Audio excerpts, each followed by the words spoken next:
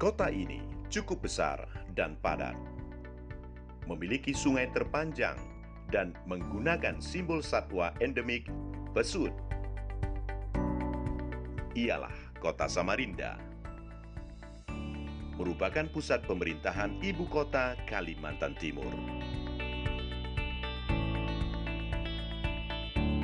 Dari masa ke masa, kota ini terus menunjukkan peningkatan tak hanya di sektor perekonomian, namun juga di sektor pendidikan.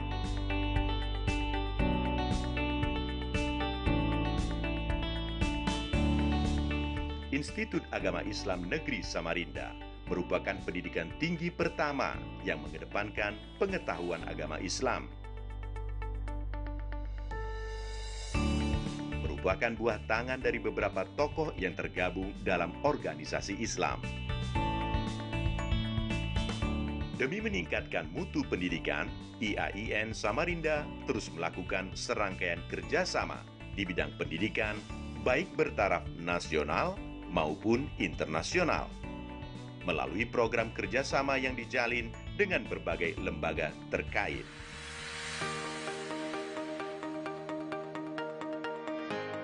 Sejak berdiri, sampai sekarang Institut Agama Islam Negeri IAIN Samarinda telah mengalami sembilan kali periode kepemimpinan.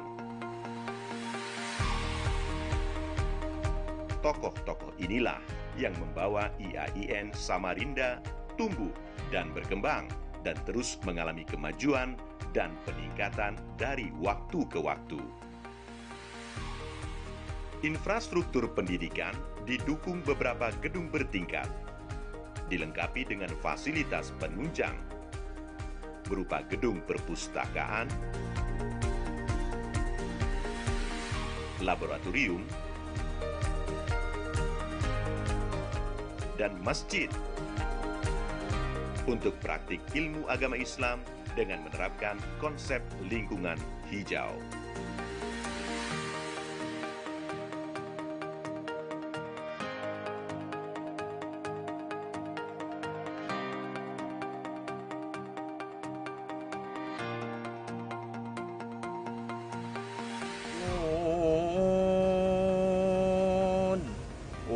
والقلم وما يسطرون ما أنت بنعمة ربك بمجنون Tidak hanya pada tumbuh kembang fasilitas, namun juga pengembangan pada fakultas dan jurusan seperti Fakultas Tarbiyah dan Ilmu Keguruan,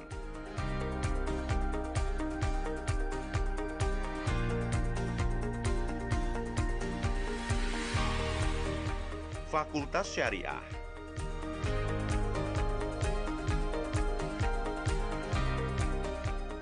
Fakultas Ekonomi dan Bisnis Islam,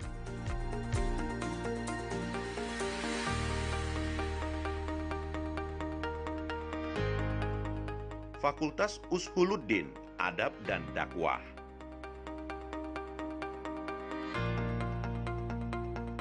Program Pasca Sarjana atau Magister,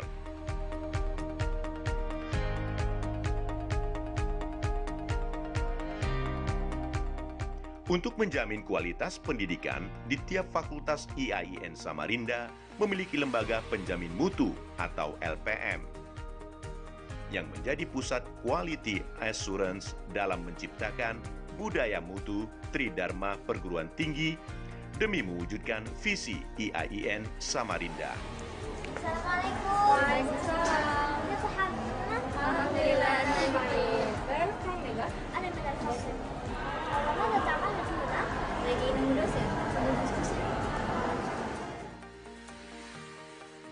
Sebagai perguruan tinggi keagamaan Islam negeri di Kalimantan Timur, IAIN Samarinda selalu mengedepankan pendalaman ilmu agama Islam namun tidak mengesampingkan ilmu pengetahuan. Penguasaan bahasa Arab dan bahasa Inggris dengan bimbingan dosen yang berpengalaman di taraf nasional maupun internasional agar mereka nantinya mampu meraih prestasi yang membanggakan. Untuk itu, IAIN Samarinda memandang perlu adanya sebuah lembaga yang mampu melaksanakan program unggulan. Maka dibentuklah Ma'had Al-Jami'ah atau pesantren kampus. Dengan diikuti seluruh mahasiswa baru IAIN Samarinda dalam kurun waktu satu tahun.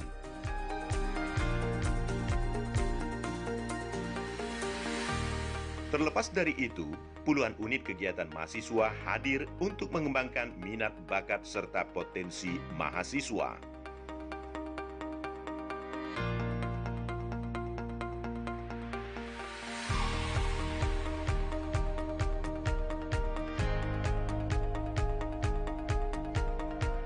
This event will be our last big event because we the next generation Sebagai cikal bakal ibu kota negara yang baru, IAIN akan berevolusi menjadi Universitas Islam Negeri dengan meningkatkan fasilitas diki, tenaga pengajar, hingga terus mencetak prestasi.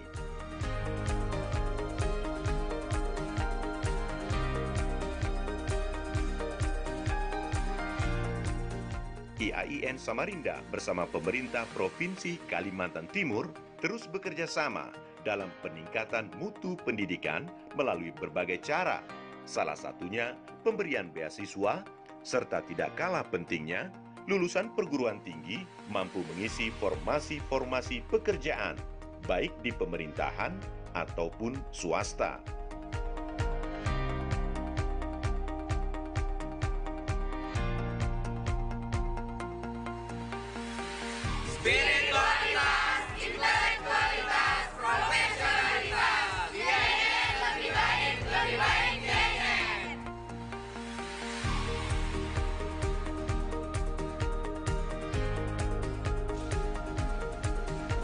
Kebijakan politik suatu negara mempengaruhi kondisi dan situasi pendidikan yang ada di sekitarnya.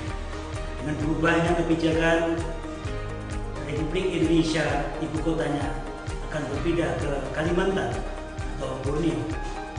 Menuntut kita semua, termasuk IAIN Samarinda, untuk berbuat yang terbaik sesuai dengan tuntutan peradaban bangsa.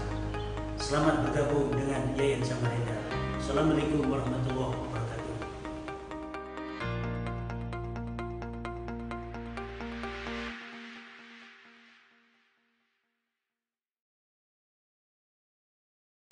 Di dunia, kita tak mengenal keabadian.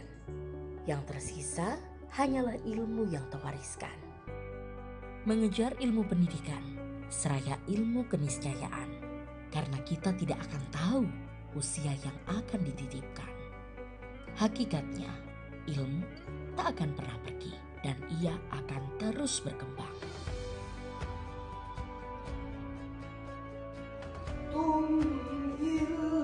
Ilmu agama dan pengetahuan saling mengisi. Ia membentengi di setiap sanubari. Pengetahuan hendaknya dibagi. Hanya berharap ridho sang ilahi.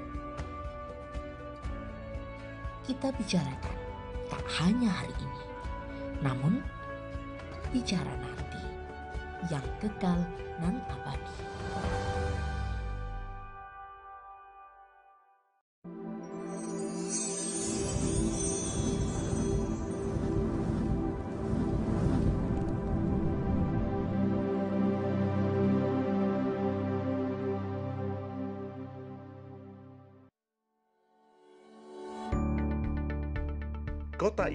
Cukup besar dan padat. Memiliki sungai terpanjang dan menggunakan simbol satwa endemik pesut. Ialah kota Samarinda. Merupakan pusat pemerintahan ibu kota Kalimantan Timur. Dari masa ke masa, kota ini terus menunjukkan peningkatan tak hanya di sektor perekonomian, namun juga di sektor pendidikan.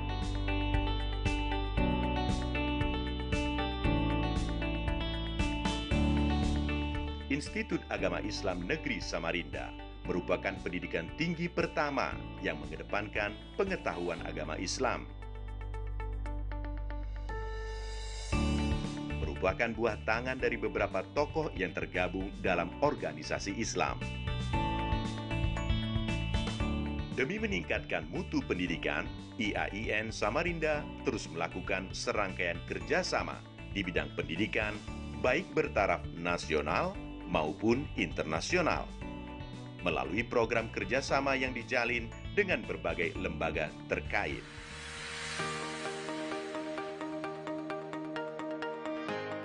Sejak berdiri, sampai sekarang Institut Agama Islam Negeri IAIN Samarinda telah mengalami sembilan kali periode kepemimpinan.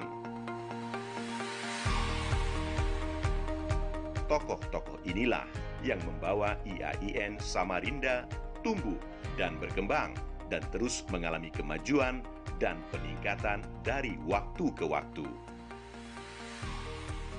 Infrastruktur pendidikan didukung beberapa gedung bertingkat, dilengkapi dengan fasilitas penunjang berupa gedung perpustakaan, laboratorium, dan masjid untuk praktik ilmu agama Islam dengan menerapkan konsep lingkungan hijau.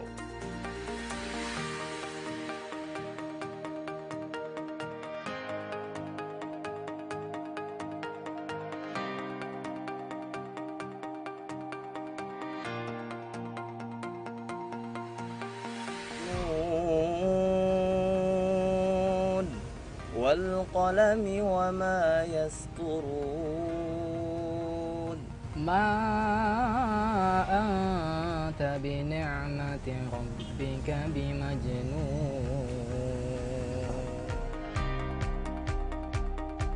Tidak hanya pada tumbuh kembang fasilitas, namun juga pengembangan pada fakultas dan jurusan seperti Fakultas Tarbiyah dan Ilmu Keguruan,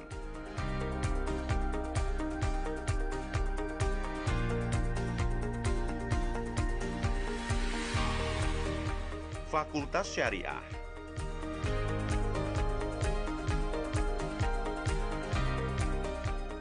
Fakultas Ekonomi dan Bisnis Islam,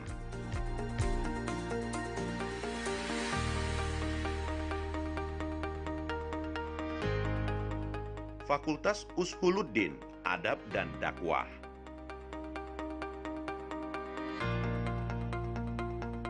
Program Pasca Sarjana atau Magister.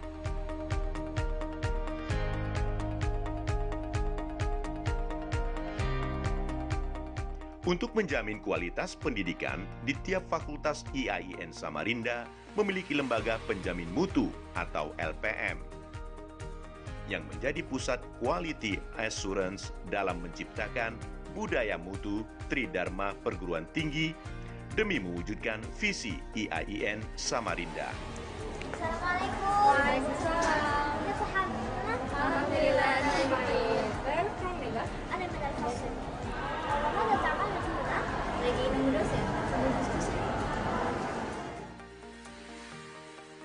Sebagai perguruan tinggi keagamaan Islam negeri di Kalimantan Timur, IAIN Samarinda selalu mengedepankan pendalaman ilmu agama Islam namun tidak mengesampingkan ilmu pengetahuan. Penguasaan bahasa Arab dan bahasa Inggris dengan bimbingan dosen yang berpengalaman di taraf nasional maupun internasional agar mereka nantinya mampu meraih prestasi yang membanggakan. Untuk itu, IAIN Samarinda memandang perlu adanya sebuah lembaga yang mampu melaksanakan program unggulan.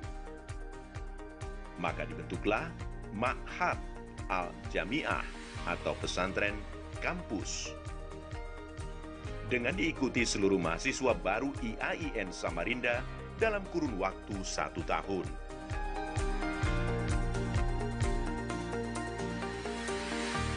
Terlepas dari itu, puluhan unit kegiatan mahasiswa hadir untuk mengembangkan minat bakat serta potensi mahasiswa.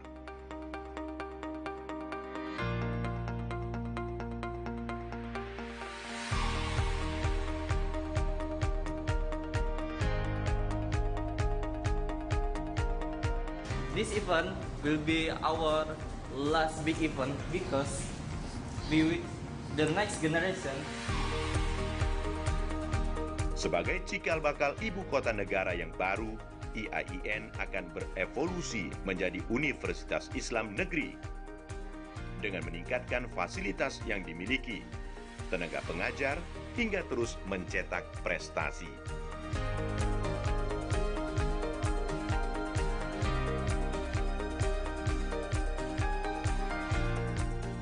IAIN Samarinda bersama pemerintah Provinsi Kalimantan Timur terus bekerja sama dalam peningkatan mutu pendidikan melalui berbagai cara. Salah satunya pemberian beasiswa, serta tidak kalah pentingnya, lulusan perguruan tinggi mampu mengisi formasi-formasi pekerjaan, baik di pemerintahan ataupun swasta.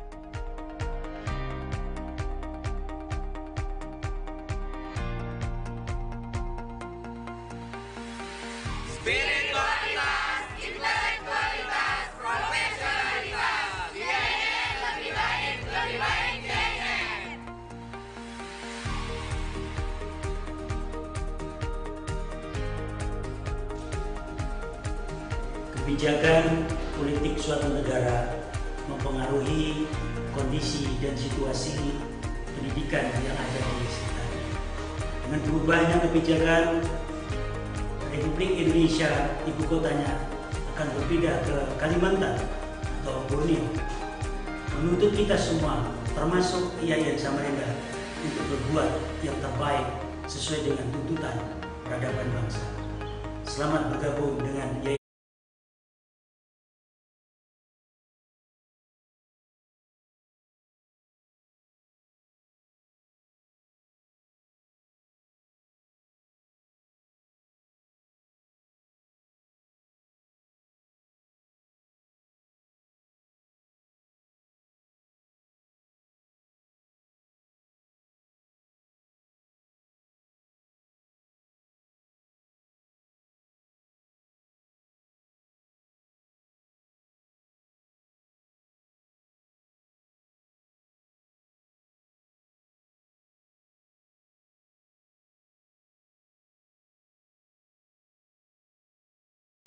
Di dunia, kita tak mengenal keabadian.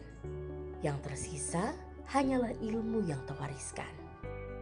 Mengejar ilmu pendidikan, seraya ilmu keniscayaan. Karena kita tidak akan tahu usia yang akan dititipkan. Hakikatnya, ilmu tak akan pernah pergi dan ia akan terus berkembang.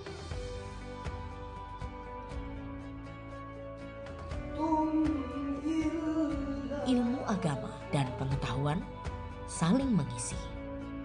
Ia membentengi di setiap sanubari. Pengetahuan hendaknya dibagi. Hanya berharap ridho sang ilahi. Kita bicarakan tak hanya hari ini, namun bicara nanti yang kekal nan abadi.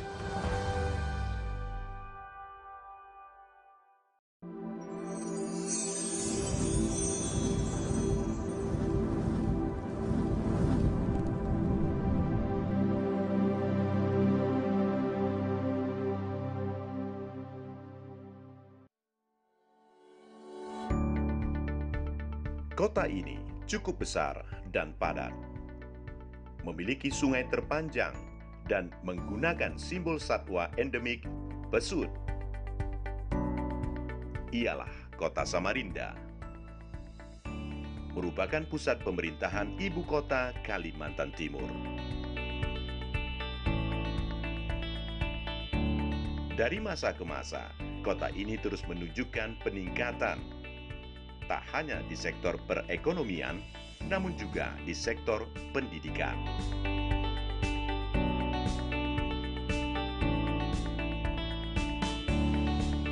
Institut Agama Islam Negeri Samarinda merupakan pendidikan tinggi pertama yang mengedepankan pengetahuan agama Islam. Merupakan buah tangan dari beberapa tokoh yang tergabung dalam organisasi Islam. Demi meningkatkan mutu pendidikan, IAIN Samarinda terus melakukan serangkaian kerjasama di bidang pendidikan, baik bertaraf nasional maupun internasional. Melalui program kerjasama yang dijalin dengan berbagai lembaga terkait.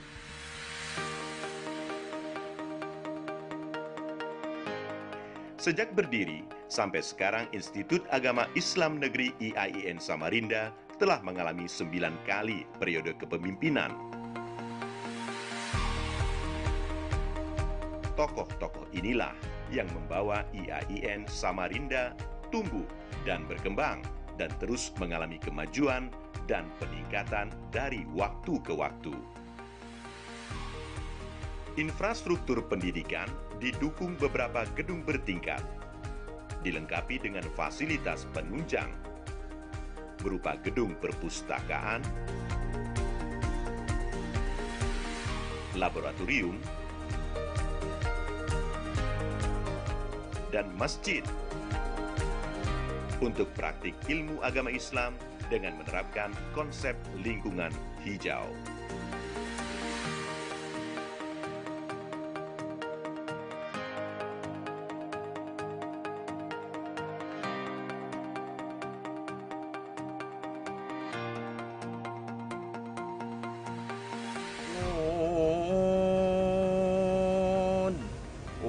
والقلم وما يسطرون ما أنت بنعمة ربك بمجنون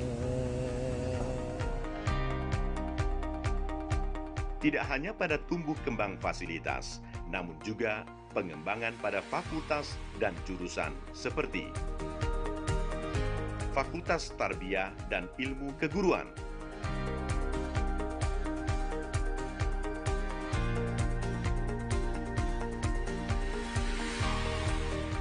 Fakultas Syariah,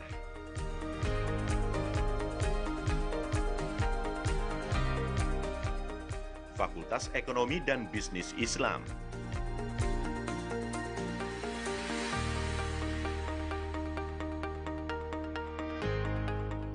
Fakultas Ushuluddin, Adab dan Dakwah.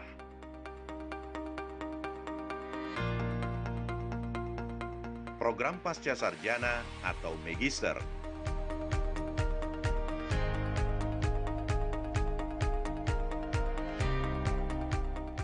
Untuk menjamin kualitas pendidikan di tiap fakultas IAIN Samarinda memiliki lembaga penjamin mutu atau LPM yang menjadi pusat quality assurance dalam menciptakan budaya mutu Tridharma perguruan tinggi demi mewujudkan visi IAIN Samarinda.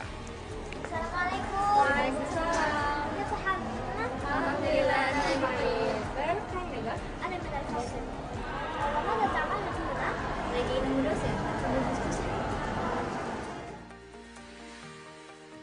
Sebagai perguruan tinggi keagamaan Islam negeri di Kalimantan Timur, IAIN Samarinda selalu mengedepankan pendalaman ilmu agama Islam namun tidak mengesampingkan ilmu pengetahuan. Penguasaan bahasa Arab dan bahasa Inggris dengan bimbingan dosen yang berpengalaman di taraf nasional maupun internasional agar mereka nantinya mampu meraih prestasi yang membanggakan. Untuk itu, IAIN Samarinda memandang perlu adanya sebuah lembaga yang mampu melaksanakan program unggulan. Maka dibentuklah Ma'had Al-Jami'ah atau pesantren kampus. Dengan diikuti seluruh mahasiswa baru IAIN Samarinda dalam kurun waktu satu tahun.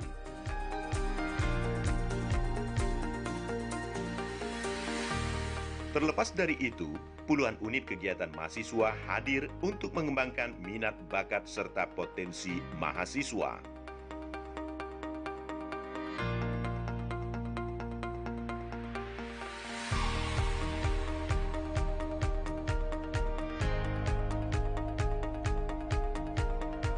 This event will be our last big event because we will the next generation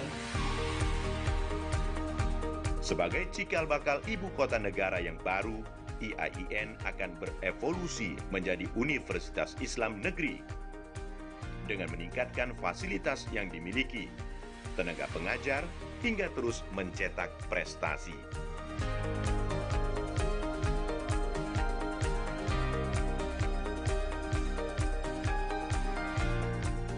IAIN Samarinda bersama pemerintah Provinsi Kalimantan Timur terus bekerja sama dalam peningkatan mutu pendidikan melalui berbagai cara.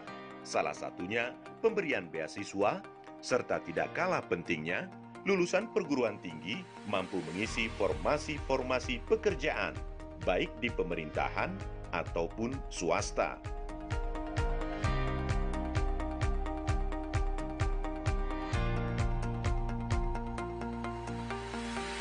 Spiritualitas,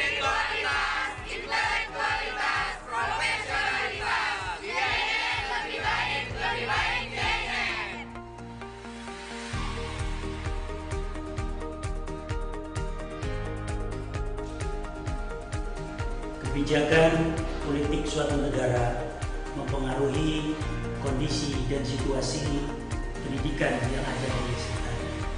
Dengan berubahnya kebijakan Republik Indonesia ibu kotanya akan berpindah ke Kalimantan atau Borneo menuntut kita semua termasuk IAIN Samarinda untuk berbuat yang terbaik sesuai dengan tuntutan peradaban bangsa. Selamat bergabung dengan IAIN Samarinda. Assalamualaikum warahmatullahi wabarakatuh.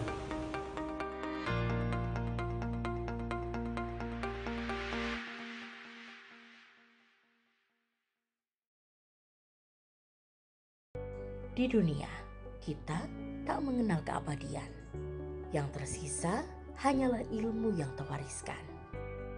Mengejar ilmu pendidikan, seraya ilmu keniscayaan. Karena kita tidak akan tahu usia yang akan dititipkan. Hakikatnya, ilmu tak akan pernah pergi dan ia akan terus berkembang.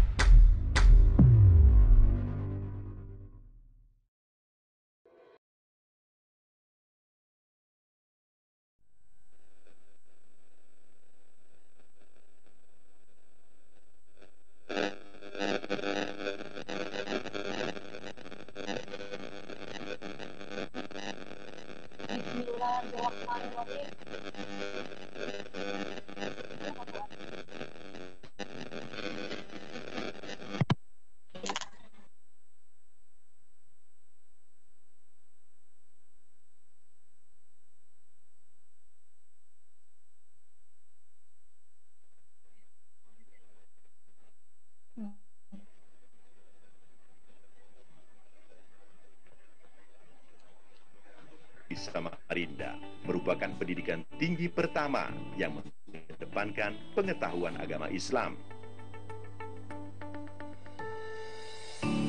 Merupakan buah tangan dari beberapa tokoh yang tergabung dalam organisasi Islam. Demi meningkatkan mutu pendidikan, IAIN Samarinda terus melakukan serangkaian kerjasama di bidang pendidikan baik bertaraf nasional maupun internasional. Melalui program kerjasama yang dijalin dengan berbagai lembaga terkait.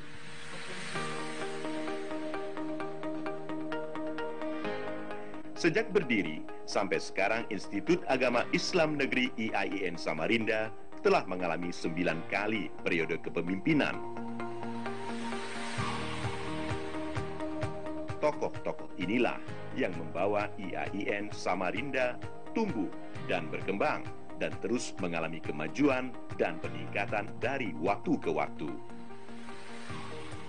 Infrastruktur pendidikan didukung beberapa gedung bertingkat, dilengkapi dengan fasilitas penunjang berupa gedung perpustakaan, laboratorium, dan masjid untuk praktik ilmu agama Islam dengan menerapkan konsep lingkungan hijau.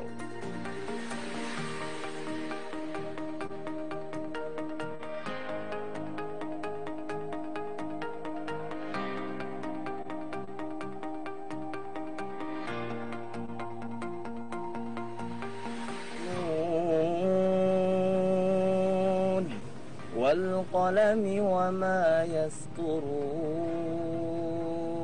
ما أنت بنعمة ربك بمجنون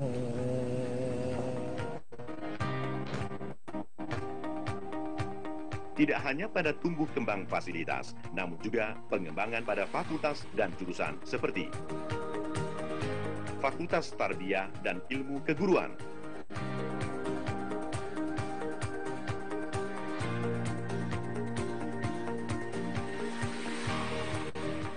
Fakultas Syariah,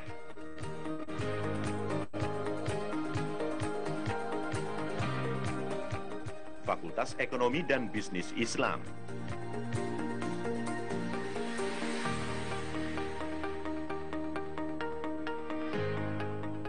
Fakultas Uskuluddin, Adab dan Dakwah.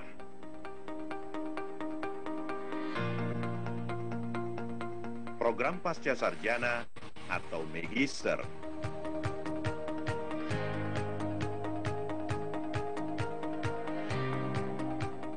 Untuk menjamin kualitas pendidikan, di tiap fakultas IAIN Samarinda memiliki lembaga penjamin mutu atau LPM yang menjadi pusat quality assurance dalam menciptakan budaya mutu Tridharma perguruan tinggi demi mewujudkan visi IAIN Samarinda.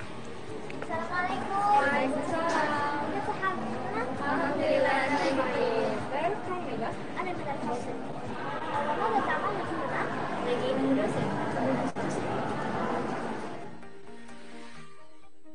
Sebagai perguruan tinggi keagamaan Islam negeri di Kalimantan Timur, IAIN Samarinda selalu mengedepankan pendalaman ilmu agama Islam namun tidak mengesampingkan ilmu pengetahuan.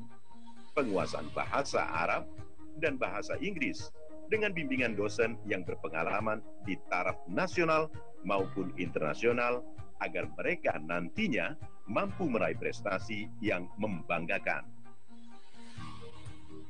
Untuk itu, IAIN Samarinda memandang perlu adanya sebuah lembaga yang mampu melaksanakan program unggulan.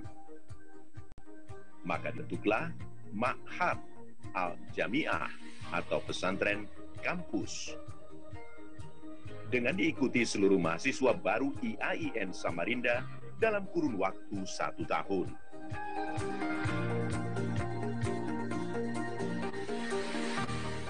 Terlepas dari itu, puluhan unit kegiatan mahasiswa hadir untuk mengembangkan minat, bakat, serta potensi mahasiswa.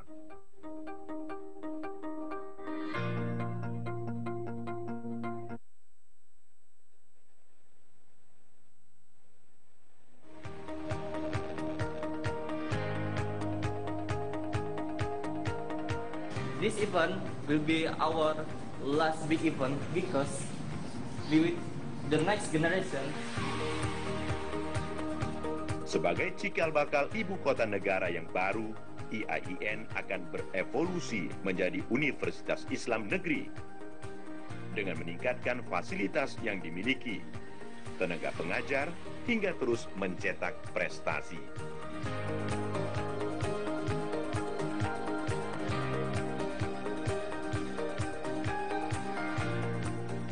IAIN Samarinda bersama pemerintah Provinsi Kalimantan Timur terus bekerja sama dalam peningkatan mutu pendidikan melalui berbagai cara. Salah satunya pemberian beasiswa, serta tidak kalah pentingnya, lulusan perguruan tinggi mampu mengisi formasi-formasi pekerjaan, baik di pemerintahan maupun swasta.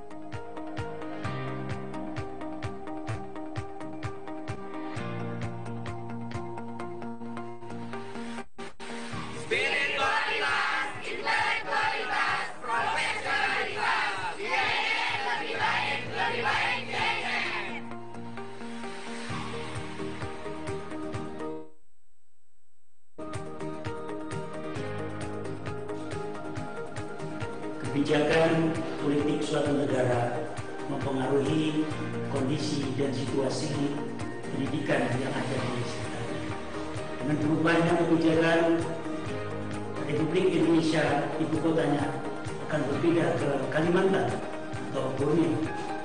menuntut kita semua, termasuk IAIN Samarinda, untuk berbuat yang terbaik sesuai dengan tuntutan peradaban bangsa. Selamat bergabung dengan IAIN Samarinda. Assalamualaikum warahmatullahi wabarakatuh.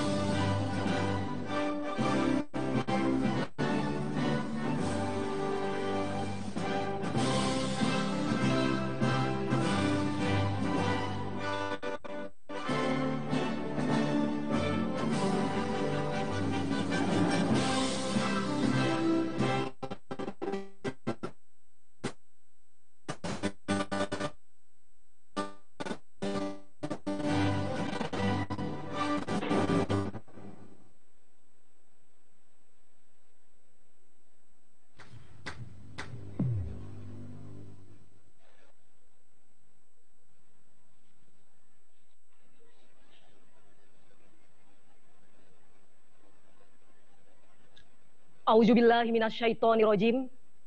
Bismillahirrahmanirrahim. Excellency Rector of State Islamic Institute of Samarinda, Honorable all the speakers, respectable heads of departments, directors, managers, coordinators, lecturers, staff, college, and employees of State Islamic Institute of Samarinda. Dearly all beloved online participants and the steering committees of this event. Alhamdulillahi Rabbil Alamin. Wassalatu wassalamu ala asrafil anbiya wal mursalin Wa ala alihi wa sahbihi ajmain. Rabbi sohri sodri Wa yassirli amri Wahlul uqdatam min lisani yafkahu qawli. Assalamualaikum warahmatullahi wabarakatuh. Good afternoon from Indonesia. Good morning, good afternoon, good evening, depending on where in the world you are. And thank you very much for joining with us. Ladies and gentlemen, very warm welcome to all of you on the Educational Virtual International Conference with the theme Innovations of Learning in Higher Education in the New Normal COVID-19, which is organized greatly by State Islamic Institute of Samarinda, East Kalimantan Province, Indonesia. This virtual aims to support teachers, lecturers, academic academicians, scholars by sharing tips and resources. You find those this event live in June and uh, at our YouTube channels at TV IAIN Samarinda. Firstly, praise and thanks always be with Allah subhanahu wa ta'ala, mercy presence all over the universe, who has created the words belong to all mankind. And he also has given a lot of us mercy and blessing to the can so that we can attend this prestigious conference without any obstacles. Secondly, salawat and salam always be with our prophet and all human best examples, who has brought us from the darkness to the lightness, from the stupidity to the cleverness, namely Islam.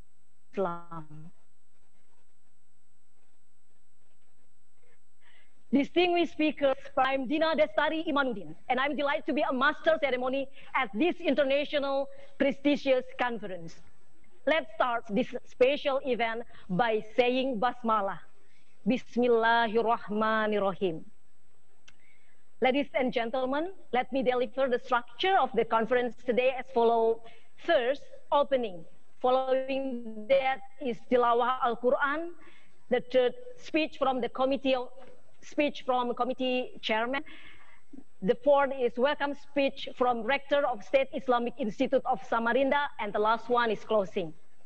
Now let's start our event by inviting Brother Abdul Sani for Tilawah Al-Quran. Assalamualaikum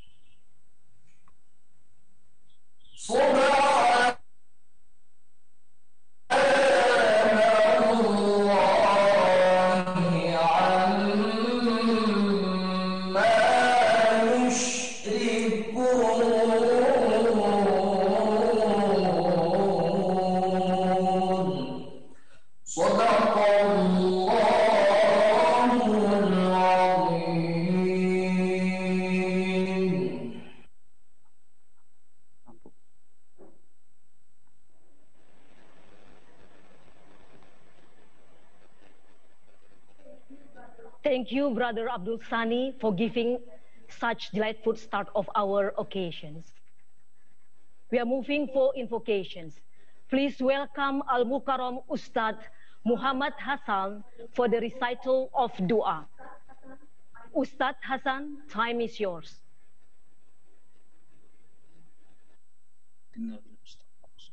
الفاتحة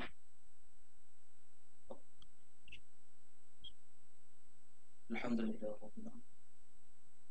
إياك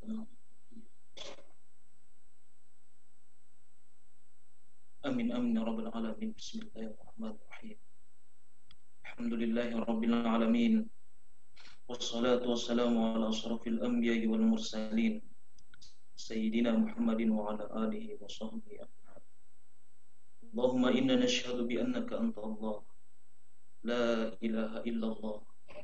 الأحد الفرد الصمد لم يلد ولم يولد ولم يكن له كفوا أحد.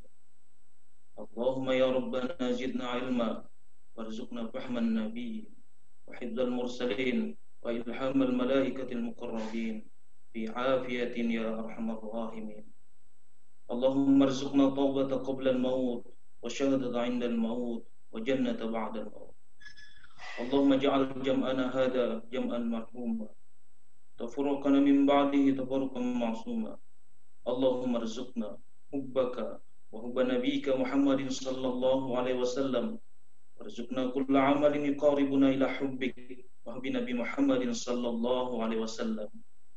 اللهم إنا نسألك الهدى والتقى والعفاف والغنى. ربنا هب لنا من الصالحين. ربنا ظلمنا أنفسنا وإن لم تغفر لنا وترحمنا لنكونن من الخاسرين ربنا آتنا في الدنيا حسنة وفي الآخرة حسنة وقنا عذاب النار. والحمد لله رب العالمين.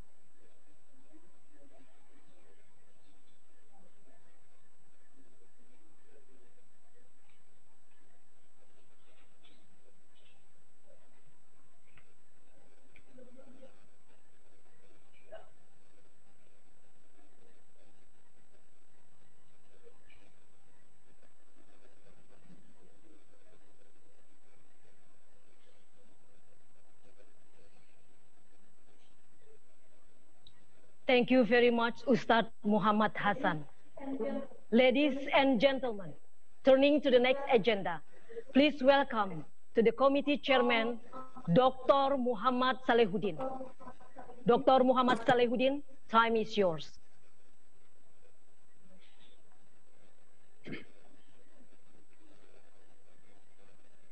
Assalamualaikum warahmatullahi wabarakatuh.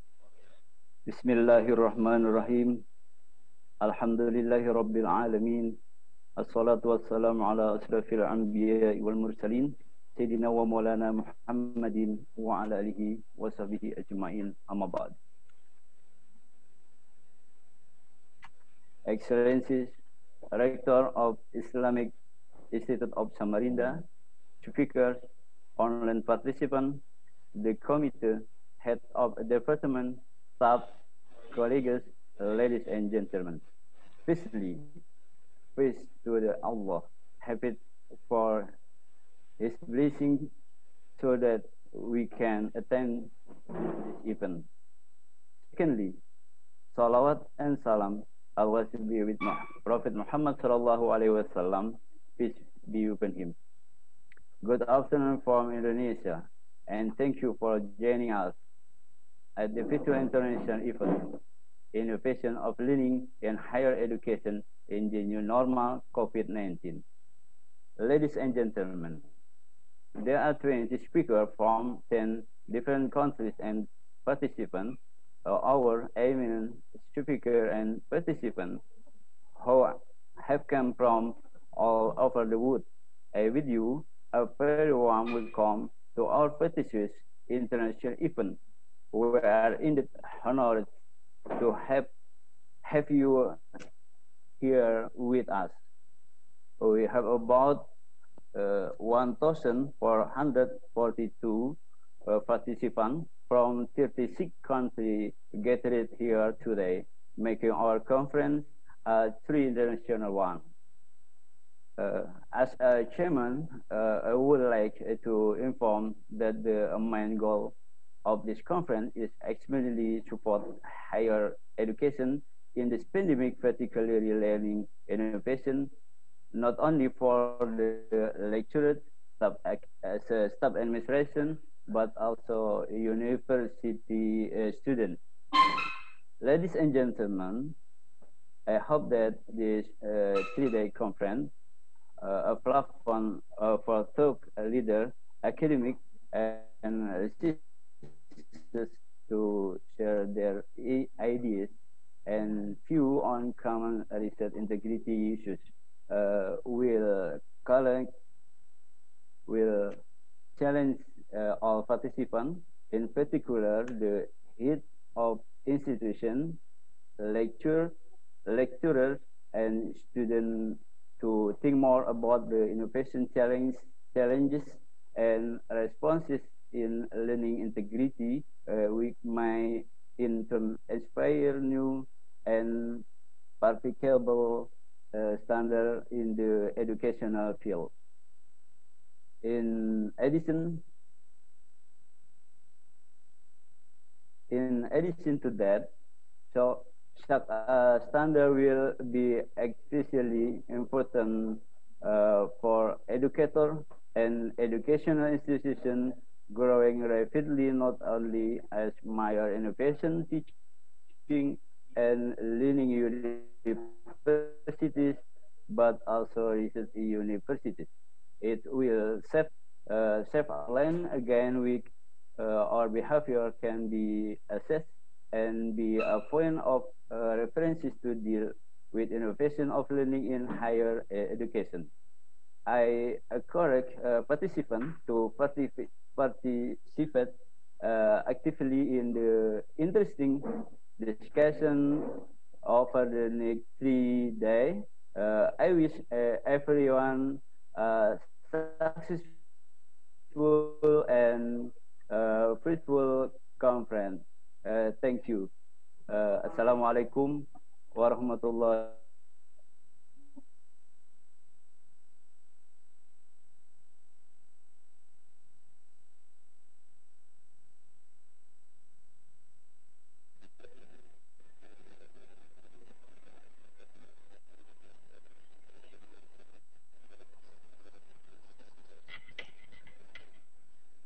Thank you. Thank you very much, very much for, for Dr. Dr. Muhammad Salehuddin. Ladies, and gentlemen, gentlemen, it's an honor to have Rector of State Islamic Institute of Samarinda to deliver his welcome speech as well as officially open the Spiritual International Conference. Please welcome Professor Dr. Muhammad Ilyasin. Mr. Rectors, time is yours.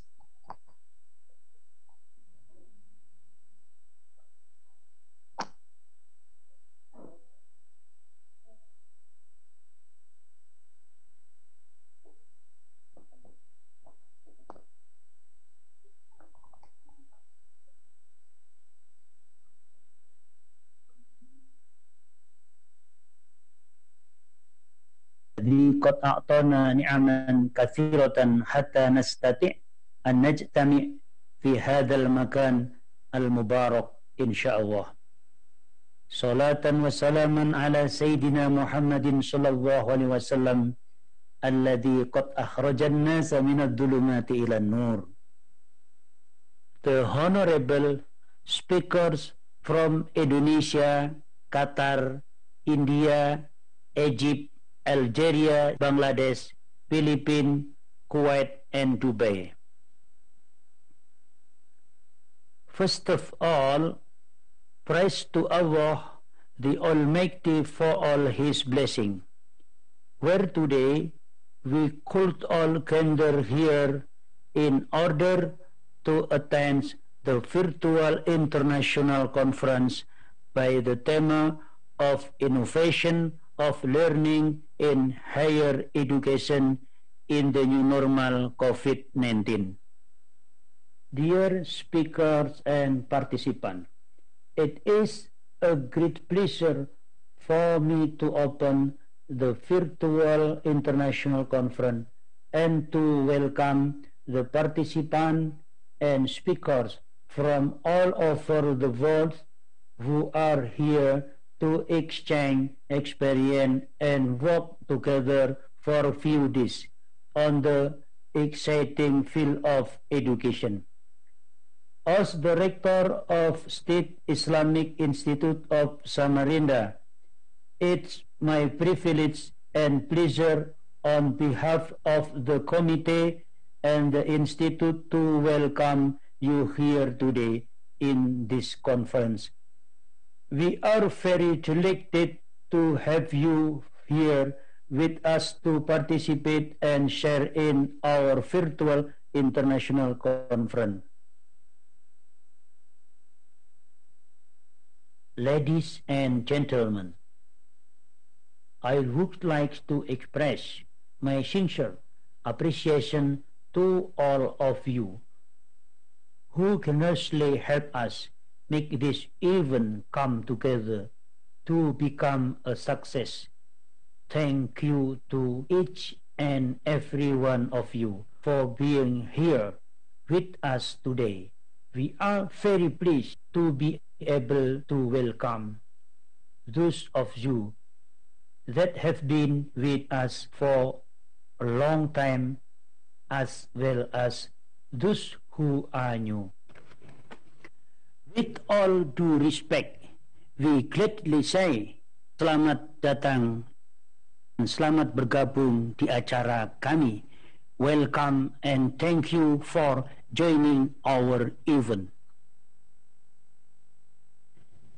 Ladies and gentlemen, you have all been chosen to be a part of this conference due to a mutual passion for the same purpose, which is to be able to create learning innovation in order to adapt to the crisis we all face, the crisis of COVID-19 both pandemic. Your passions all to unite and the energy we create is what allows us to achieve our goal. We need you in order to be able to face the challenge and come up with greater solution of this serious problem. That's why we are so grateful to have you join us here. We are very honored to have many of amazing keynote speakers who are esteemed specialists in the field of education and also the great committee who have been working so hard for this event to be realized. Nothing much I can say, but thank you. Thanks for the hard work and support.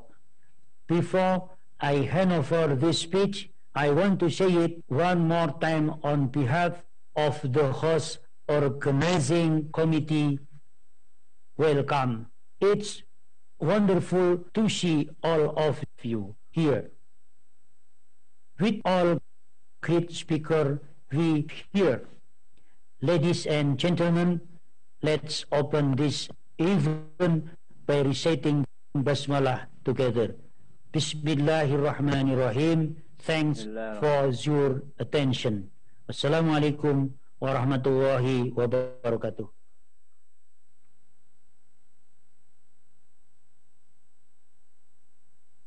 Thank you very much, Mr. Rector. Ladies and gentlemen, thank you very much for all of those who have joined us at this session.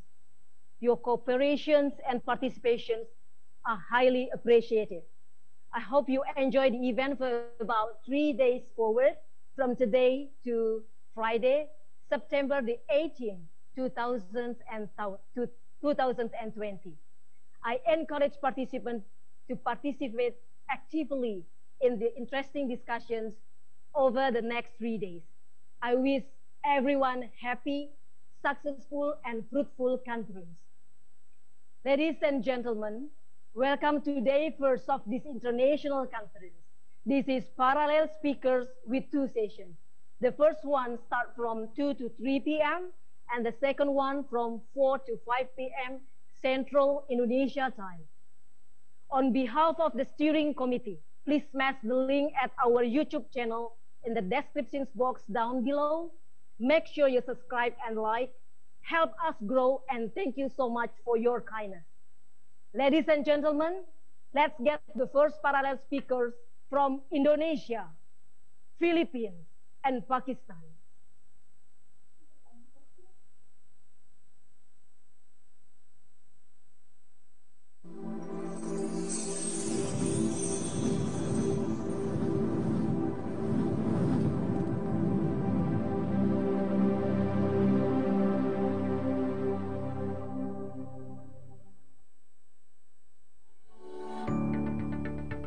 Kota ini cukup besar dan padat. Memiliki sungai terpanjang dan menggunakan simbol satwa endemik besut. Ialah kota Samarinda. Merupakan pusat pemerintahan ibu kota Kalimantan Timur. Dari masa ke masa, kota ini terus menunjukkan peningkatan tak hanya di sektor perekonomian, namun juga di sektor pendidikan.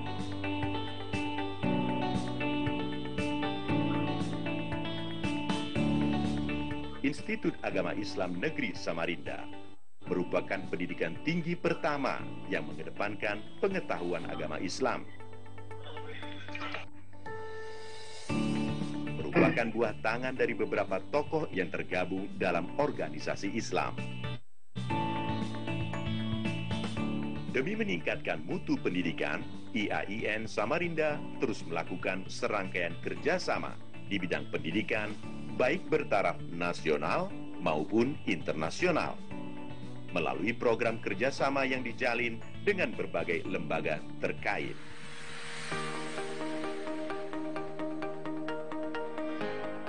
Sejak berdiri, sampai sekarang Institut Agama Islam Negeri IAIN Samarinda telah mengalami sembilan kali periode kepemimpinan. Tokoh-tokoh inilah yang membawa IAIN Samarinda tumbuh dan berkembang dan terus mengalami kemajuan dan peningkatan dari waktu ke waktu. Infrastruktur pendidikan didukung beberapa gedung bertingkat dilengkapi dengan fasilitas penunjang. berupa gedung perpustakaan, laboratorium, dan masjid untuk praktik ilmu agama Islam dengan menerapkan konsep lingkungan hijau.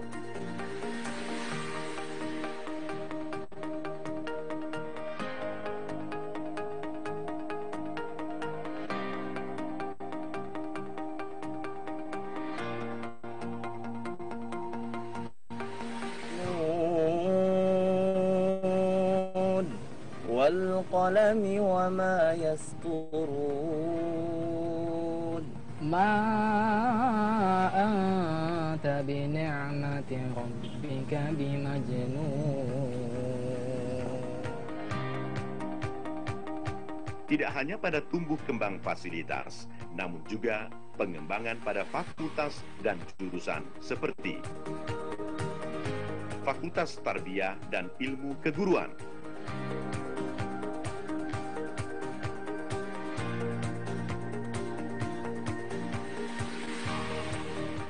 Fakultas Syariah,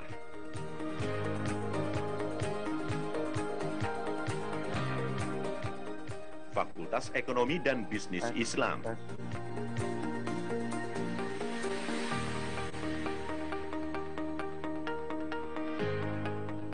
Fakultas Uskuluddin, Adab dan Dakwah.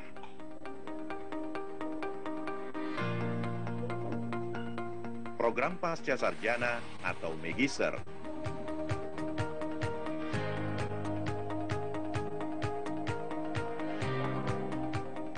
Untuk menjamin kualitas pendidikan di tiap fakultas IAIN Samarinda Eh, sebentar, memiliki sini, lembaga sebentar, penjamin mutu atau LPM yang menjadi pusat quality assurance dalam menciptakan budaya mutu Tridharma perguruan tinggi demi mewujudkan visi IAIN Samarinda.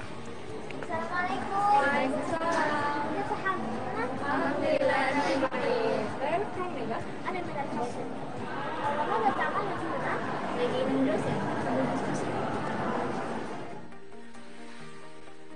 Sebagai perguruan tinggi keagamaan Islam negeri di Kalimantan Timur, IAIN Samarinda selalu mengedepankan pendalaman ilmu agama Islam namun tidak mengesampingkan ilmu pengetahuan.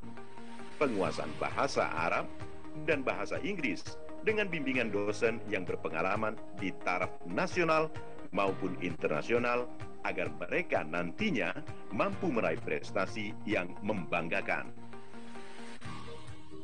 Untuk itu, IAIN Samarinda memandang perlu adanya sebuah lembaga yang mampu melaksanakan program unggulan.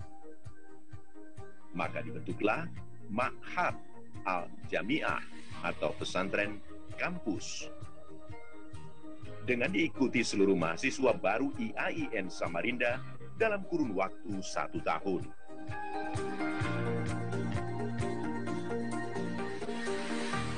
Terlepas dari itu, puluhan unit kegiatan mahasiswa hadir untuk mengembangkan minat bakat serta potensi mahasiswa. Assalamualaikum warahmatullahi wabarakatuh. All my beloved participants, before the moderator start, I am as the co-moderator would like to announce you some important information related to this conference.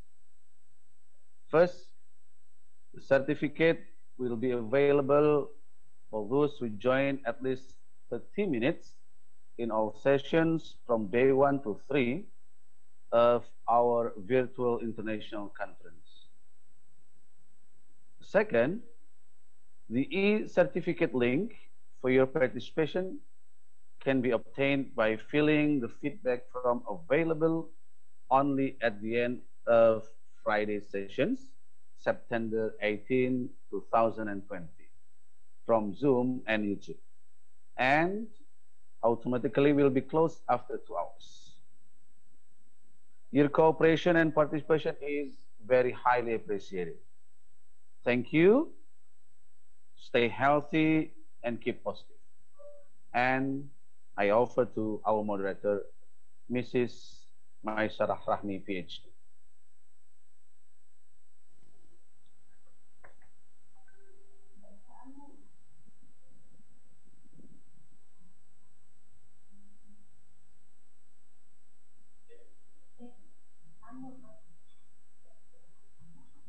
Klik bawahnya kiri bawah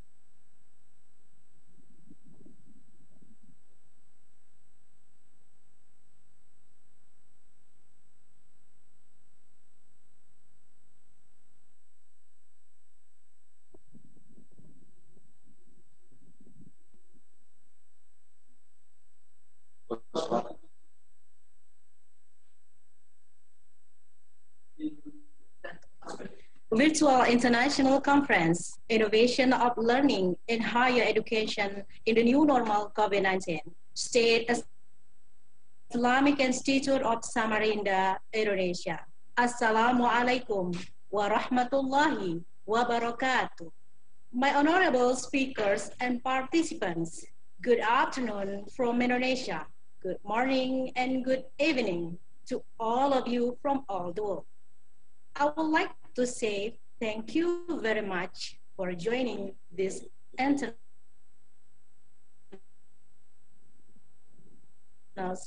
conference. Um, my in this first session, we have three speakers in this session. The first speaker is Dr. Umar Fauzan, Master of Education from State Islamic Institute of Samarinda, Indonesia. The second speaker is Chris Tizita, Master of Art Education, senior member of a pastor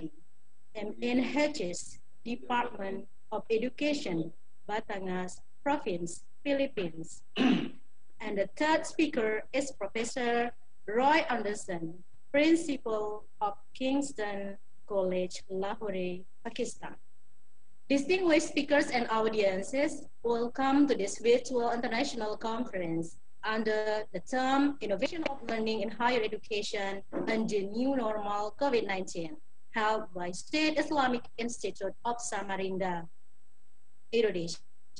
It is a great pleasure for me to tell you that the conference today is attended more than 1,000 participants from many countries over the world.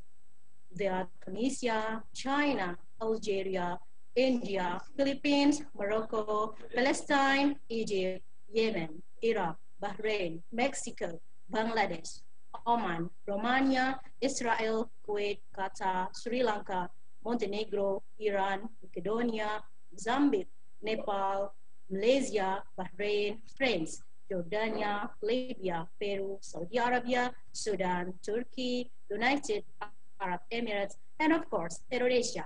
Thank you for joining us.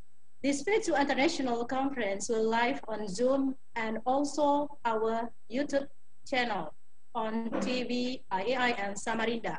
So for those who cannot join Zoom meeting, you also can watch on live YouTube, TV, IAI, and Samarinda. The conference today will divide it into two sessions. The first is presentation from the speaker, and the second is discussion from the participants. We have 90 minutes for this session, 20 minutes for presentation, and 10 minutes for each question and answer session. So after each speaker presentation, please write your question in the chat box along with your name and your country base. Well, Without further delay, I would like to invite our first speaker, Dr. Umar Fauzan, Master of Education from State Islamic Institute of Samarinda, Indonesia. Before I turn it to him, I will give you a little bit description about him. His name is Dr. Umar Fauzan. He is lecturer in State Islamic Institute of Samarinda, Indonesia. He has many publications in field of education and this presentation he will present entitled Research-Based Learning in the New Normal COVID-19. I will check him. Hello, Dr. Umar. Hello, Dr. Umar, are you there? uh, Dr. Saro. I'm here. I'm okay, here. how are you, doctor? I'm fine. Uh, thank you. God, what about okay, that's good. Yeah, I'm doing well, Alhamdulillah. Okay, that's great. And I offer it to you, Dr. Fauzan. The time is yours. Okay, it's my time. Well, Bismillahirrahmanirrahim.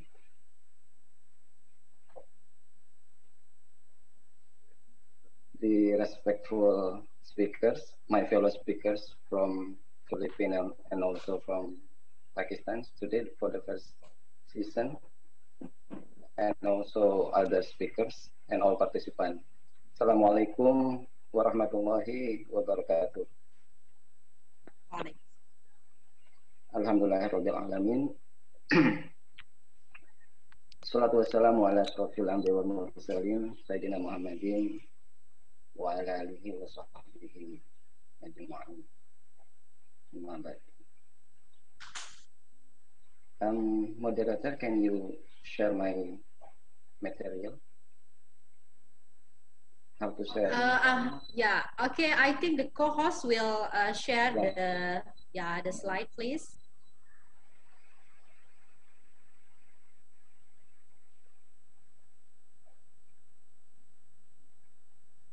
Okay, please. Uh,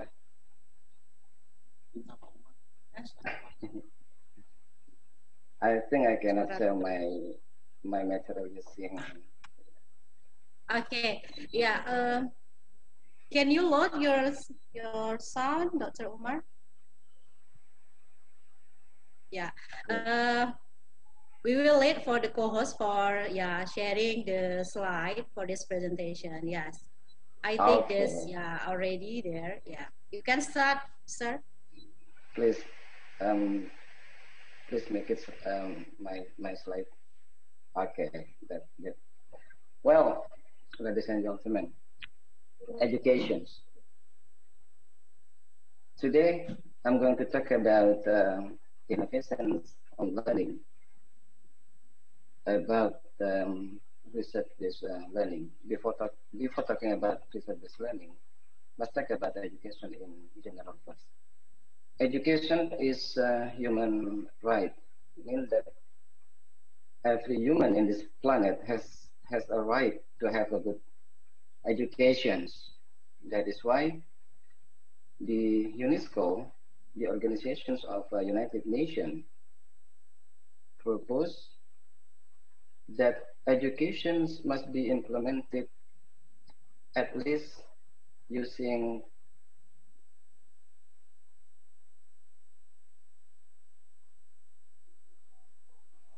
by four pillars of educations learning to know, learning to do, learning to be, and learning to live together.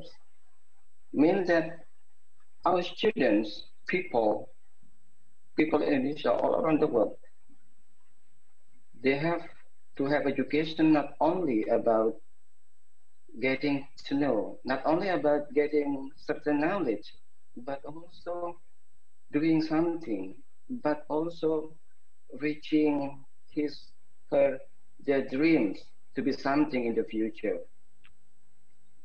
Related to this concept of the four pillars of education, our Indonesian education system proposed by Mr. Nadiem Makarim proposed what's so called by independent uh, learning.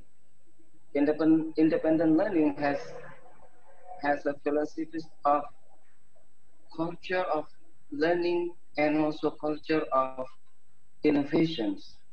Mean that learning must be done anywhere, any place, any time, any sources.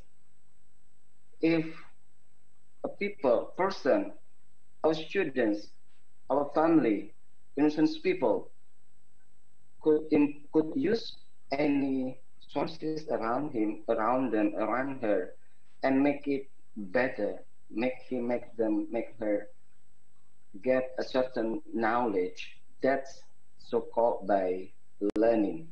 And independent learning could be done by using three ways. according to Ministry of Education, Indonesian Ministry of Education and Culture. The first is reading a lot. Reading. Many kind of reading that we have to read. Our students, people could read books, reference book, journal, magazine, newspaper, online newspaper, any kind of, of, of reading to improve the knowledge, to gain what happened around us, what happened in, in, in, in a nation, in, in the world. The first is reading a lot. Second, trying a lot. When you know something, when you get something new as your knowledge, please try it, implement it, using it. If you open YouTube and you know how to make, how to cook something new, how to make uh, sauce, for example, that knowledge, use it, try it, and try it a lot. The last is working a lot, innovate a lot. If you if you fail in trying, you cannot give up. Just try and try again. So by the concept of independent of learning, all people, innocent people, people around us can have education, can do learning process, not only in the boxes of classroom, but also outside the classroom. This is that that is why the Ministry of Education call it as independent uh, learning. But of course, learning is depend not not depend only on the nation or UNESCO, but learning is depend on ourselves, depend on student itself, depend on personal how he she could could navigate his life, his way of learning into certain directions. Not only not only learning without any purpose. She or he must have any purpose of his or her learning. What she or he want to be in the future. She want to be something or she doesn't want to be something. Of course, she, not, she cannot be passive in the future. She must be really active based on learning, based on something uh, new she or he get, he can be something in the future. So learning is the goal of how to achieve the learning is depend on the personal, institution, and also national guideline or national policy. Well, we know nowadays that we have we are facing deadly virus uh, condition, COVID-19. Really stressful, make many people lose their jobs. This COVID, this coronavirus really hits people's life in many sectors of life, create many jobless, people losing their their, their work, their job, because they cannot uh, go to office and economic so so problem, many problem uh, uh about economic and also about education. This, this COVID-19 also give very deep bad impact in the sectors of education. Thousand school, thousand universities, colleges are closed. But education should go on, right? Cannot stop education because of the pandemic. There must be certain way to to implement educations. And one of the ways by implementing research-based learning, particularly for education in higher educations. Next slide, please, the operator. Next, next, next slide, please. Anyone here? Okay. Research-based learning. Research-based learning. Just go on to the next slide. Research-based learning is, is this kind of uh, learning which include the research into uh, learning. Many people use used to split between research and learning. They, they think that research is research and then learning is learning. They live in different world. But in the concept of research, but learning here is quite a different. Research-based learning is trying to include the research into the teaching and learning process. So learning will be done by doing a research. Next slide, please. Research-based learning try to Next slide, please. Net research-based learning tries to try to uh, combine, try to focus not only to the content, not only to the knowledge, not only to the theories the students have got in the classroom, but also try to implement, try, try to see the implementation, the effect, how these theories work in the real life. This is the of um, this is this learning, how to balance theories and practice, knowledge and real life situations. Go on to the next slide, please. Research, yes, very nice.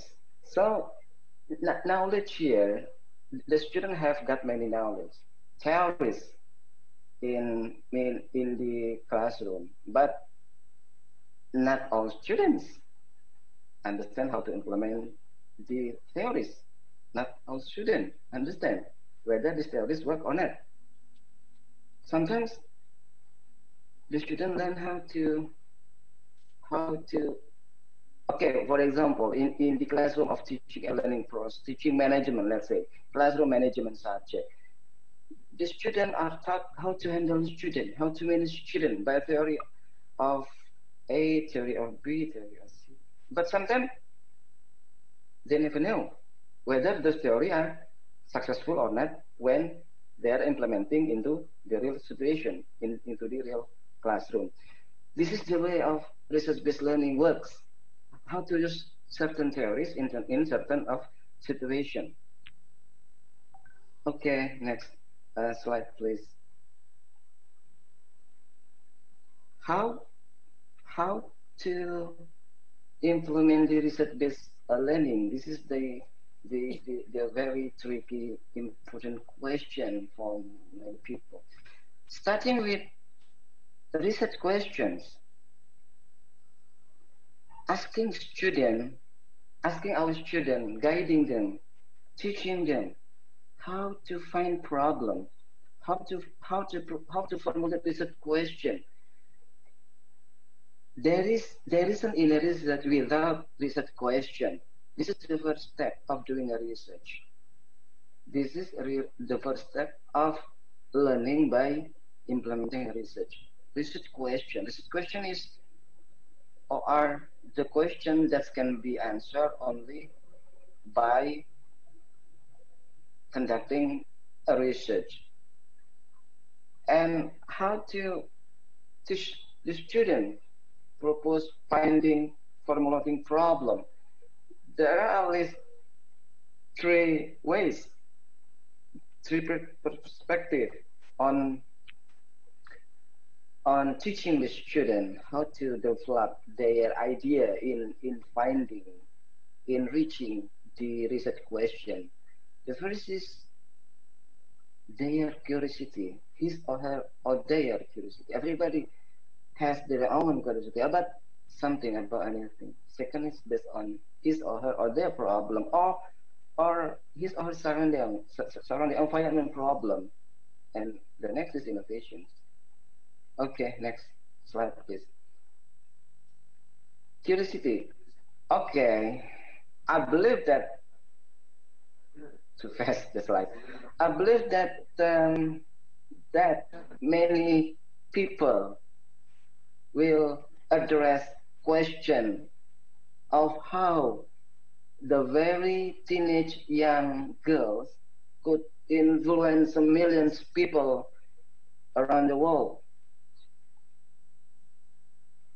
If we have if we have students from English language department, early childhood education, mathematics student or major, technology, informatics students, in all in all major, we are teaching the student.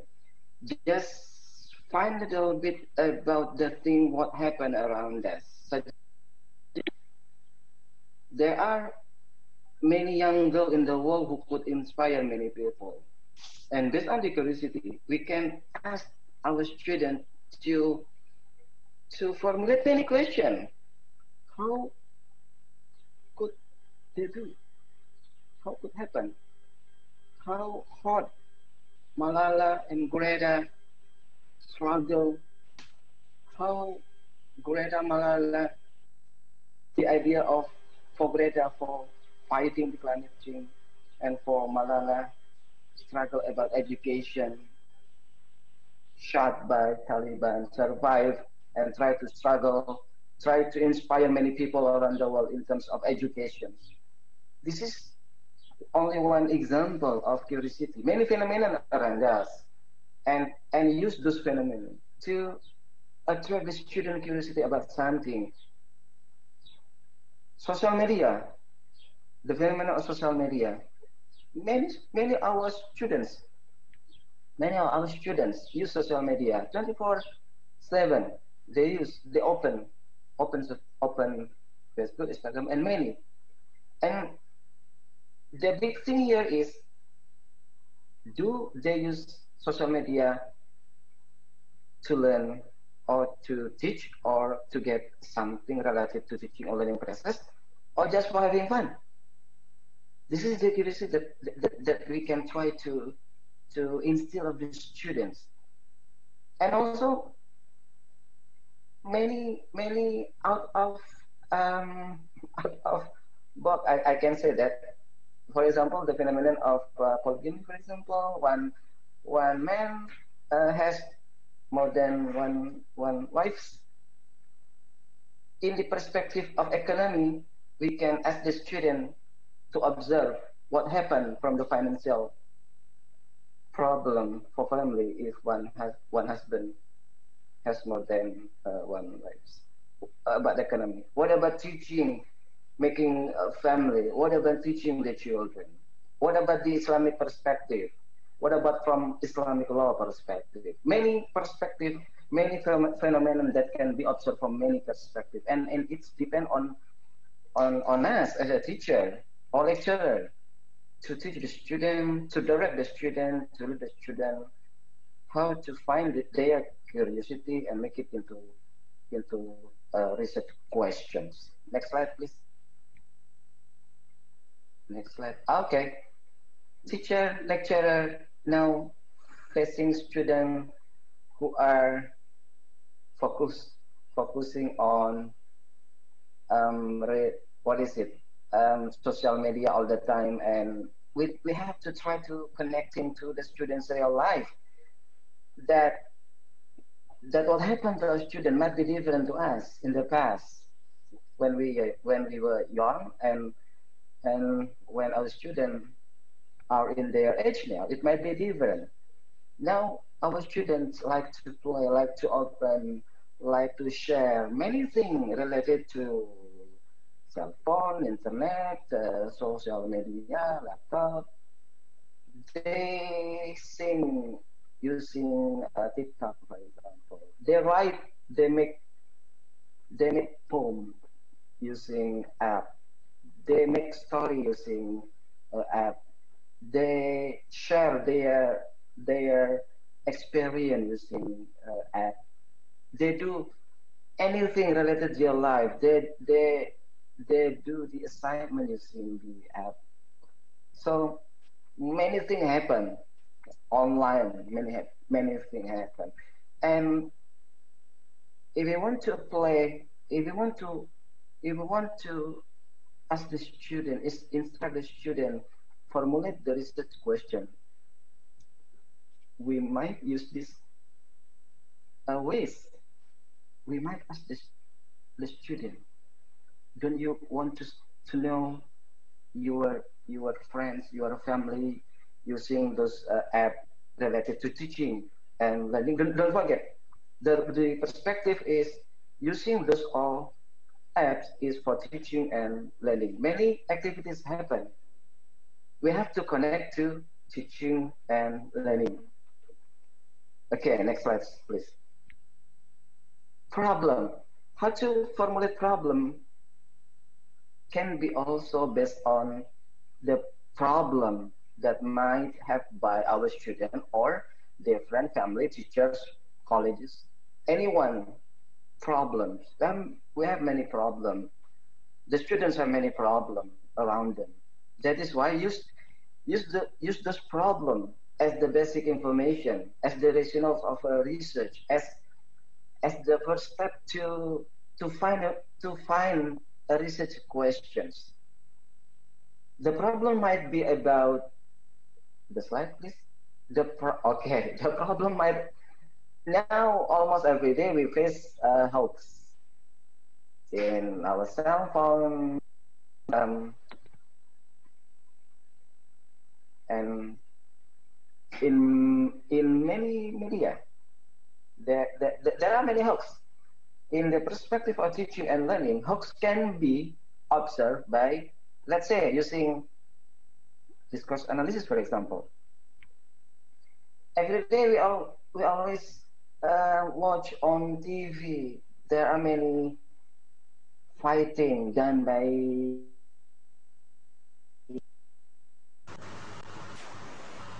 this these problems our social problem can can be also observed in the perspective of using research especially for islamic education for example.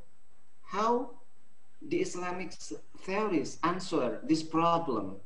How the concepts of moral how the concepts of value can be observed to see this phenomenon, this moral phenomenon that happen on the street. The phenomenon of poverty, for example, many poverty around us. How the student from economic faculty, we are as a teacher or lecturer, could lead the student to find the problem, to formulate research question based on the poverty they have or the people have around us. Game uh, online. Sorry, Dr. Umar. Yes. You still only have one minute to, to complete your presentation. One minute. Yeah. I'm so I sorry. just one minute left. Okay. Yeah. Okay. Um, because I have no more time to to explain many things about about uh, this research, uh, the concept of research-based problem. Let me explain in really in really short um, explanation.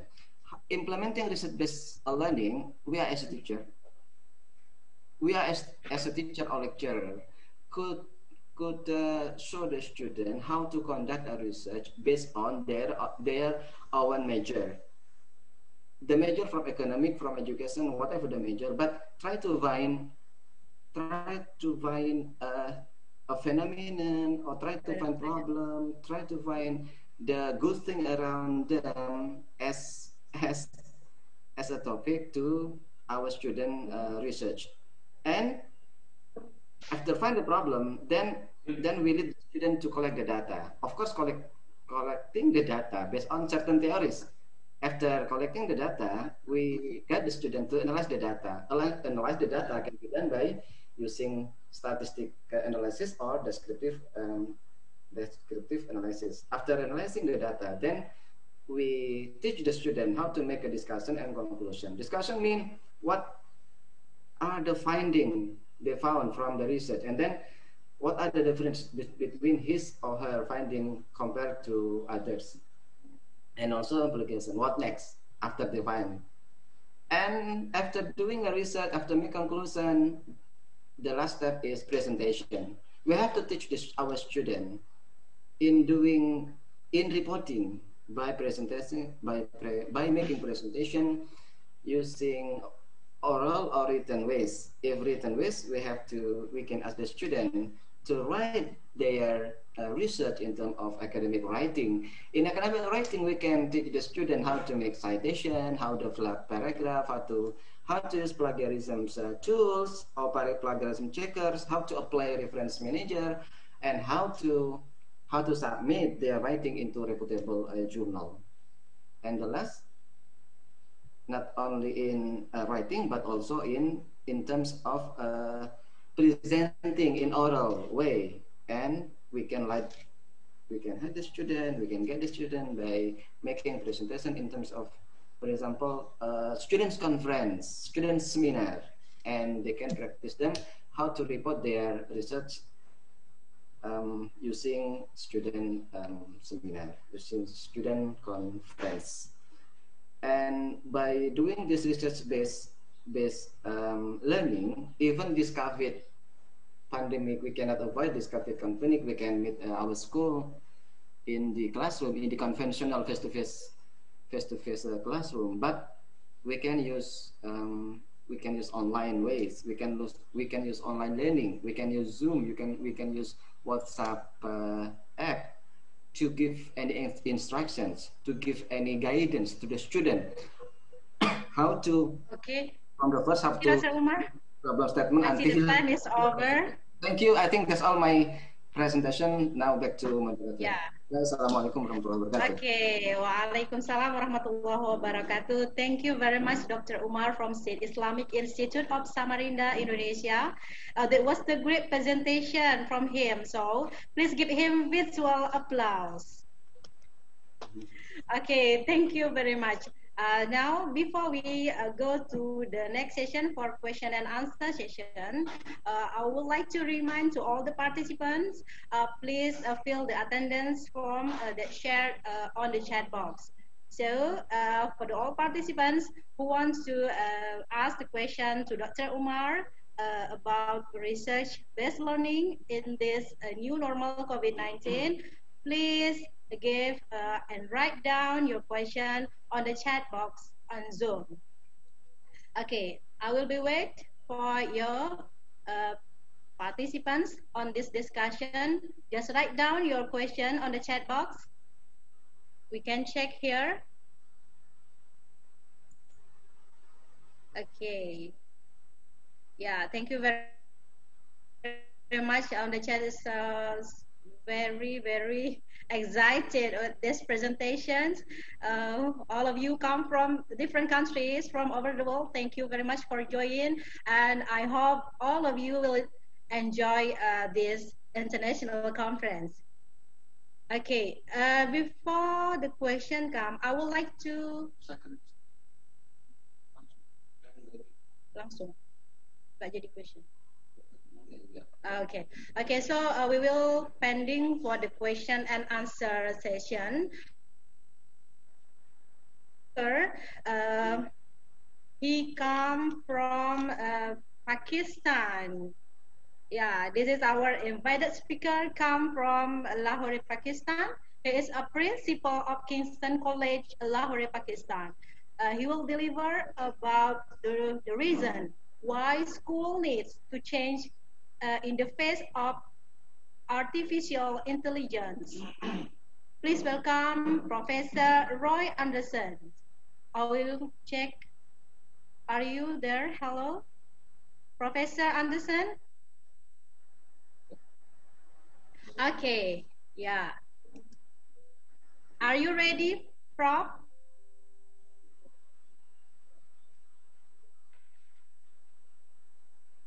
Please unmute the. It's not allowing me to do that. Okay, fine. Yeah. Thank you. Hello, uh, Can you hear me? Can you hear me? Hello? Yeah, yeah, yeah. Clear, clear. Yes. Wonderful. Yeah. Salam alaikum. Yeah. Okay. How are you, Prof? I'm very fine, thank you. Yeah, thank you very much for joining our international conference today. And I will give you 20 minutes for presentation and uh, we will uh, we will continue uh, 10 minutes for question and answer. Okay. Okay. Please have your time, Professor. Yes. I'll do that. Thank you very much. Okay, we tried this.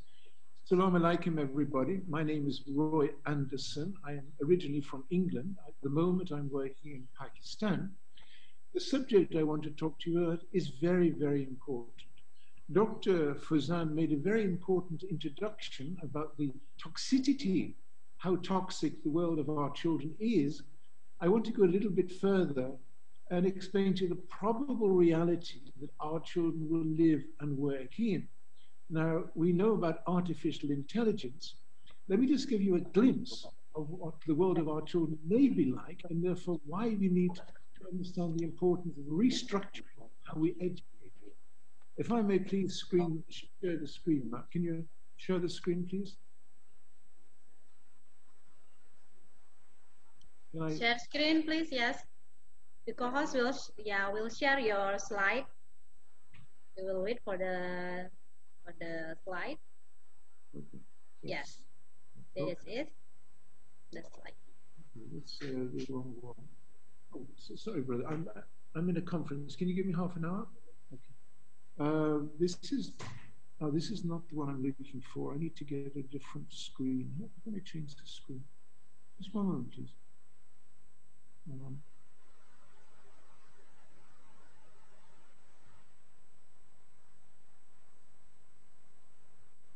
no, I I don't. I'm sorry. I'm trying to find out how to change the screen. Um, Oh, you want to to share your screen? The host, uh, the co-host and host will, yeah. yeah, please share my screen.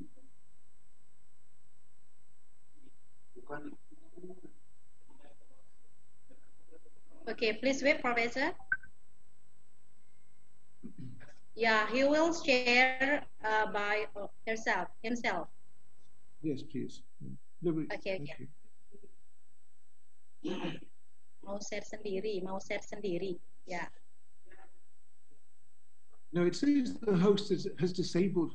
Uh, it says the host is preventing me from screen sharing. Dia mau share sendiri.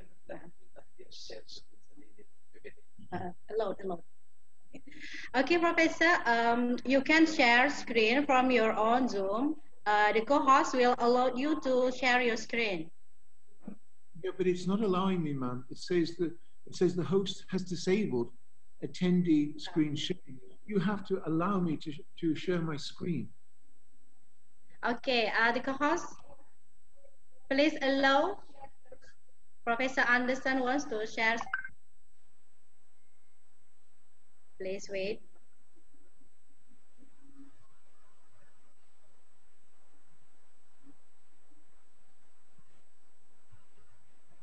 Okay. Okay, they, they already allowed you you to share your screen. Yeah, can you please? Start? Yeah, yes. Okay, just let me see where we are. Okay, my friend, you can see this uh, big. Where are we going? Just, just one second. Okay, what I'm going to explain to you now is very important for all parents and for all anybody interested in children. I'm going to suggest to you um, that the way we educate children today is based on a 19th century political design that we are not aware of, and that we are moving children in a method that will not allow them to have the level of responsibility in the ways they behave or in how they think for the world they will live and work in. Now, this is 20 minutes, is very short time, so I'll try to go as quick as I can, but as clearly as I can.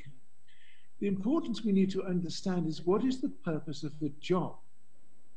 Now, we might say a job gives me money, I can buy a car, I can buy food, I can buy furniture. No, no, the importance of it gives you a sense of responsibility. You know who you are, you have a self identification, you respect yourself. Therefore, you respect society. Now, every country carries 5 8% unemployed people. These people have no respect for themselves and no respect for their society. But they are so spread out, we don't, we don't understand the effect.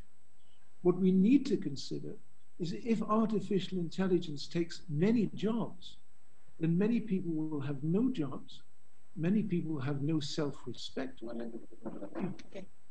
respect their society. How then do we maintain stability? This is very important to understand. But just very quickly, uh, uh, please let me talk quickly as I can here.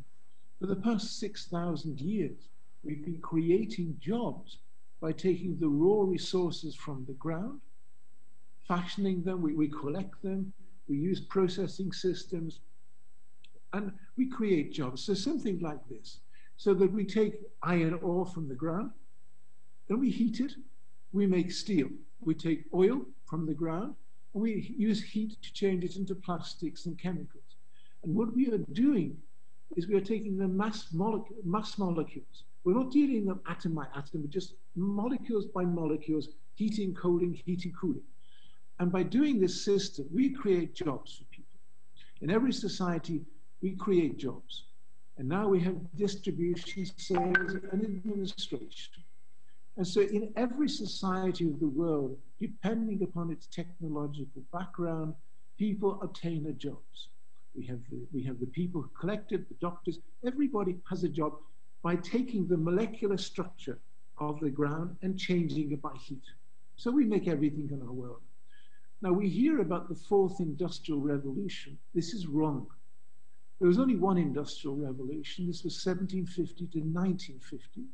Then we had the technological and then the computer era. And now we're in the nano era. And very few people understand the implications behind this. We hear of nanotechnology, nanophones, nanofibers. This is not what the implications are. But we may understand within the next 30 years, 50% of jobs will be taken over by artificial intelligence. People say, well, we'll create new jobs. If you understand what nanotechnology is, you cannot create new jobs because there won't be any jobs. Nanotechnology is based on the idea of very, very small machines. You cannot see them, they're too small. Now, there are two kinds of these machines. One is an assembler, and the other is a dissembler. The dissembler can drill into any substance, rock, soil, clay, mud, oil, with a computer program, analyze the molecular structure, disassemble this into individual atoms. An assembler then goes in, and according to its computer program, it connects these atoms together to create a new compound. So one machine creates another machine, creates another machine. These are self-replicating. The idea then is these machines then link together to create whatever the computer program is. It creates a computer, it creates a chair, it creates a desk, it creates a wall, it creates a house, it creates the carpet. In the future, and it's moving faster than we know, we are moving into a world where we don't need human beings machines will create the environment by themselves. Now, 50 years ago, and that's a long time, 50 years ago, NASA said if we send one of these machines to the moon, one machine can create a whole space complex with no human beings involved in it.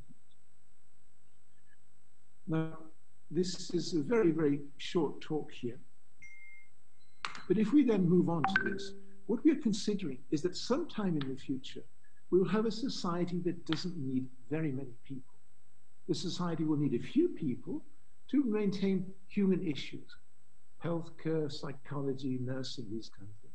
But the other jobs that now give people a job, a human and a purpose, won't be needed.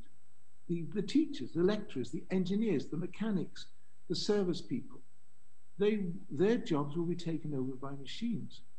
Now the problem then is that every landmass would then be divided into two kinds of societies. A small society of people required by the system, those people will be given incentives and opportunities. They will enjoy going to work, they will be rewarded, their children will have a good education. But the other people who no longer have a job will live in a decaying world.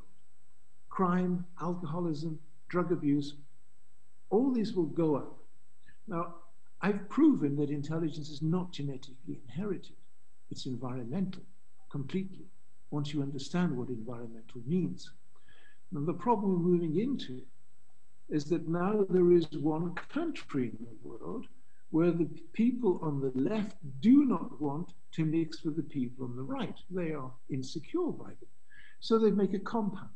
So the people trapped in this compound, this is a huge city, and there's cities within this. These people are not free. They cannot move around the country. They need a passport, a visa to get out, and it's complicated to do that. So for this generation, their children and their grandchildren, their great great grandchildren, they are trapped in this compound. Now it's also beginning to happen in South America. So we have to consider what kind of the world our children will live in. Now, at the same time, global warming is a reality. It's now predicted that in the next 60 or 70 years, London and New York can be underwater. So the children of today will live in a very different world than you and I know.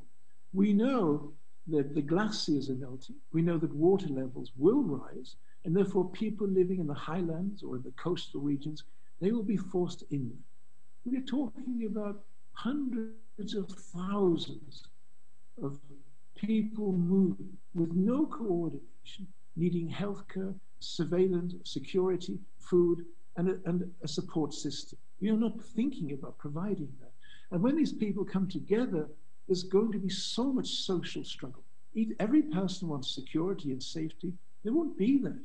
And this means that the global security system must increase security, must increase surveillance to ensure a level of stability and harmony for all people. This means that if we continue to create the same model citizen as we have been doing for the past 150 years, then these people cannot be trusted by the system. Therefore, it means that due to the increase of security and surveillance, there will be no more democracy. Now, I spent almost all of my working life talking and, and considering this. And so, what I want to say to you in the very short time we've got together is how we may begin to change this. Um, I have written seven books about this, and we can talk about these another time. Basically, the illusion of education explains why intelligence, sorry, explains why school does not teach children how to think. We don't teach children how to reason, we don't teach them how to think. Because the 19th century model we work on processes children on what we think is intelligence. It isn't. It's their language skills to either become the manager or the managed. To become the manager, they have to go to university. So there's techniques, there's strategies in every society and in every education to make some children go to university where they are taught higher evaluators thinking skills. But the rest, the normal children, they're not taught how to think in school. They, we raise them on dualistic thinking. So when they go to college or work, whatever, they have a lower level of thinking. In the home in the evening, they're entertained by television programs that reduce their intelligence. This is a program, and it basically means that the system can survive better by a select number of people guiding the greater number. These greater number are trained to be compliant with education, with the teacher. We do this in school now. We teach children to say, What is this? What should I do? When we're teaching children to do that, we are raising them in a mindset to be compliant in the citizen, in the society. Now, my second book, The Hidden Secrets of Intelligence, proves why intelligence is not genetically inherited. This is a very important aspect because in many societies, they believe that intelligence is created, uh, is inherited, so that, for example, in America, they say white people are genetically more intelligent than black people. It's not true. It's all based on distorted information. But whatever. My third book, The Brain Environment Complex, is a new concept to what intelligence is and how the brain works. Basically, it comes down to love.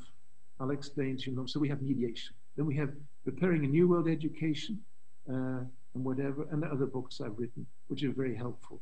But basically, what I want to explain to you now is how school actually works. Just one moment get, the right thing. Okay. Now we have the idea that children learn in school according to their ability. Their ability is defined by what they inherited, plus and minus the drives and the problems they've got in life, as Dr. Fr- um, Frazan was talking about. The reality is that, that any normally born child, any normally born child can get very, very high grades in school and obtain any job they want to do. But as I've explained to you, school and society doesn't want that to happen. The purpose of school is to allow some children to become the professional class, some children become the engineering class, and some children to become the working class. We have to change that. And if we're going to change it, we need to realize that school does not work on intelligence, school works on languages. And there are two languages. One is mathematics, and the other is English, French, German, whatever it is. And these languages work on rules. Now, let me get now. If the child learns the rule, they know how to think. So when they're given a learning task, they can negotiate through it. This is fun. They're inspired. Now, in the West, we spend huge amounts of money on creative classrooms, trying to make the students creative in their thinking. It makes no difference. The designer desks, the designer classrooms, the multi-billion pound school, the implements that look nice and fun make no difference to the creativity of the child.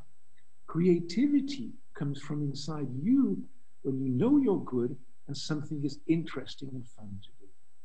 So if the child learns the rule, they know how to think, this is fun, then they apply that rule in different subjects, then they are creative. Now let me give you an example of what I'm talking about here. If you understand the rules of mathematics, you'll be very good in mathematics. Then you'll be very good in sciences, chemistry and physics, because you know how to think. Look at the, look at the equation here. 6 divided by 2, 2 plus 1. Let's look at two students. One student who learned the rule and one student who didn't learn the rule. And just give me a second. just one second, please.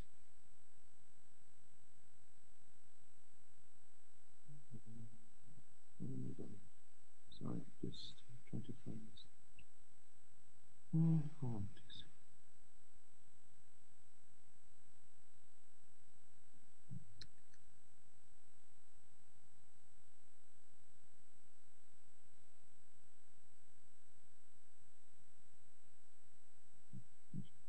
Now, this student, when the teacher was explaining the rule, they were not listening. They were bored. Or, like Dr. Frizan was saying, they were distracted by some fear. There was that they're going to be bullied or somebody is hurting them in some way. So the mind is not concentrating. What we need to understand is that it is not the brain that does any work. When we see a child writing something, we think they are clever or they are not clever. It's got nothing to do with the brain. The brain is guided by the mind and the heart. Now, the human mind is always searching for security. So, if the child in school is distracted by some fear, their mind will be searching. If they feel a sense of insecurity, then, then they will be searching and not listening to the rule to get them to get the child learning, we have to get the heart. Now the heart is 40,000 neurons, it's not just there to blood. So it means the teacher must inspire the class to have love, kindness, and confidence and make the lesson interesting. And if they can do that, then the students will focus on the rule. Now, this student didn't focus on the rule. So when the teacher was explaining, he wasn't listening. When the teacher said, okay, please, please uh, do your example, he didn't know how to think. So he used logic. And he said, well, okay, 2 plus 1 is 3, and 2 times 3 is 6. So 6 divided by 6 is 1. Now it's wrong, but he doesn't know why. Now this school, this school Sorry, sir. You only have two minutes left. Well, basically, uh, we need more time here. But what I'm explaining to you is that okay. we, need, we need to change the whole school system. Do not use rows. If you use rows, it part was based on the 19th century design to create inequality. You need a classroom like this. If you can create a classroom where the teacher can move around and help the children, when they make that mistake, then you can develop them bit by bit by bit. My friends, I need two hours to explain to you a basic idea of how this works. I hope I can come back. But if you can create a classroom like this, then you can help all your children to focus, to learn, to interact, and you can develop them. And most importantly, you can give them the confidence to interact. Now, uh, there's so much I want to explain to you. But it's important that you understand that the way we are educating today belongs to a world that no longer exists. The world of our children will require a different kind of education. It requires teachers to have more patience, more tolerance, more understanding of how to inspire children to learn and not just to give information. Well, uh, okay, I mean, obviously, there's a great deal, and I hope that I can come again and talk to you more. But please, now you may ask me questions if you like for the time that we've got left. Okay. Yeah. Thank you, uh, Professor Anderson. Uh, we can uh, continue with the question answer after this session. Okay, that was the fantastic presentation from uh, Professor Anderson, and please give him virtual applause. Thank you very much, Professor. Uh, yeah, you you explained so many important information for us uh, with different uh, students, how to improve their intelligence, and so many things you have shared. And it was very useful for all of us. Okay, uh, because we have uh, one more speaker, so uh, we have to turn to last speaker, uh, the third speaker, uh, and all after all the speakers, we will continue with the question and answer session. So I uh, would like to remind to all the participants who wants to please write down your question on the chat box, mention your name, country. Okay. Our last, uh, our last speaker is come from Philippines. Um, he is Chris Zita Master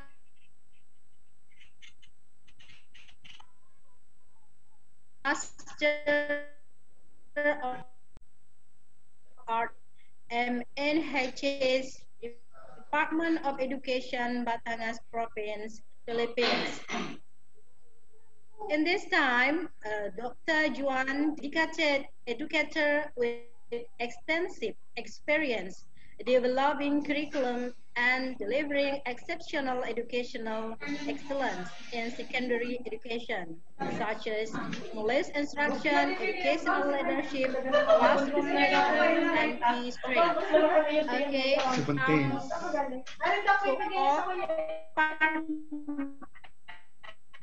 participant, please, uh, can you mute your mic? Thank you. Please. Okay. I will check Dr. Juan. Are you there? Dr. Dr. Christy Zita. Yeah, I'm so sorry. Christy Zita. Yeah. Okay. How are you? Uh, just fine. Okay. Thank you for the virtual international conference. Yeah. Okay. Thank you. Uh, I will give you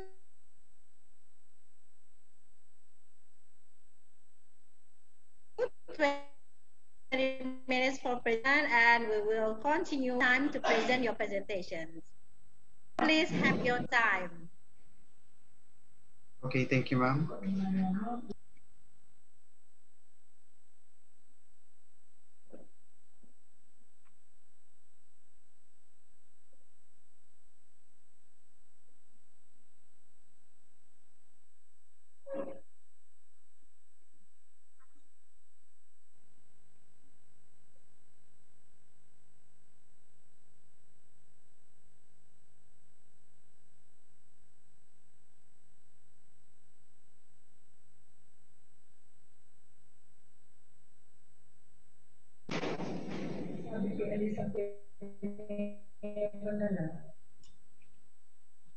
Okay, so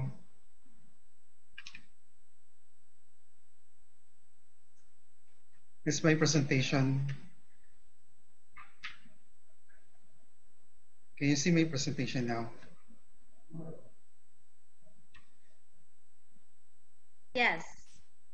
Yes, sir. Okay, so so again, good afternoon, everyone. So I would like to take this opportunity to uh, thank the organizers of this virtual international conference with the theme Innovation of Learning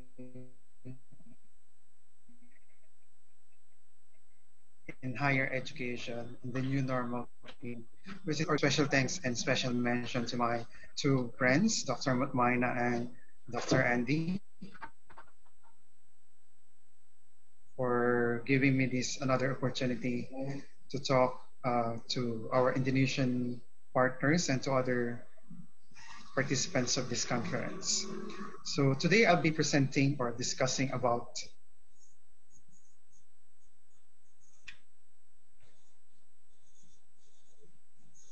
Okay, so I've been a speaker for around nine times in, in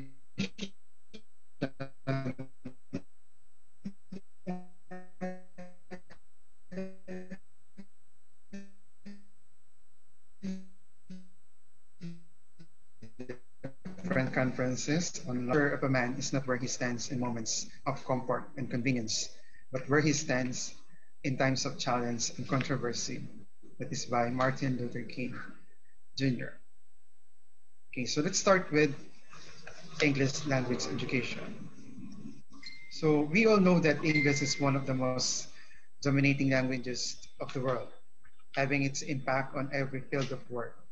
Undoubtedly, English play a much greater role in the world that is inevitable for people to ignore it fully.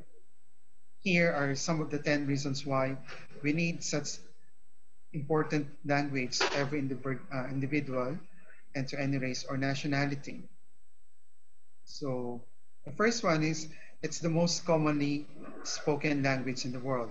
There are approximately 400 million native speakers and English is understood and or spoken by around 1 to 1.6 billion people with over a quarter of the world speaking the language. So there's always someone to practice with, especially when you travel. Next, it's the language of international business. Most world business headquarters are predominantly in the financial hubs of the United Kingdom and United States of America.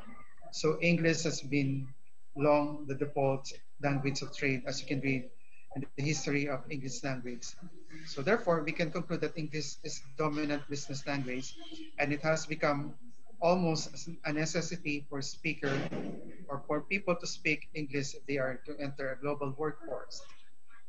Third, most movies are in English. Hollywood is a powerhouse of global entertainment. So it's natural that English would become the main language for movie making.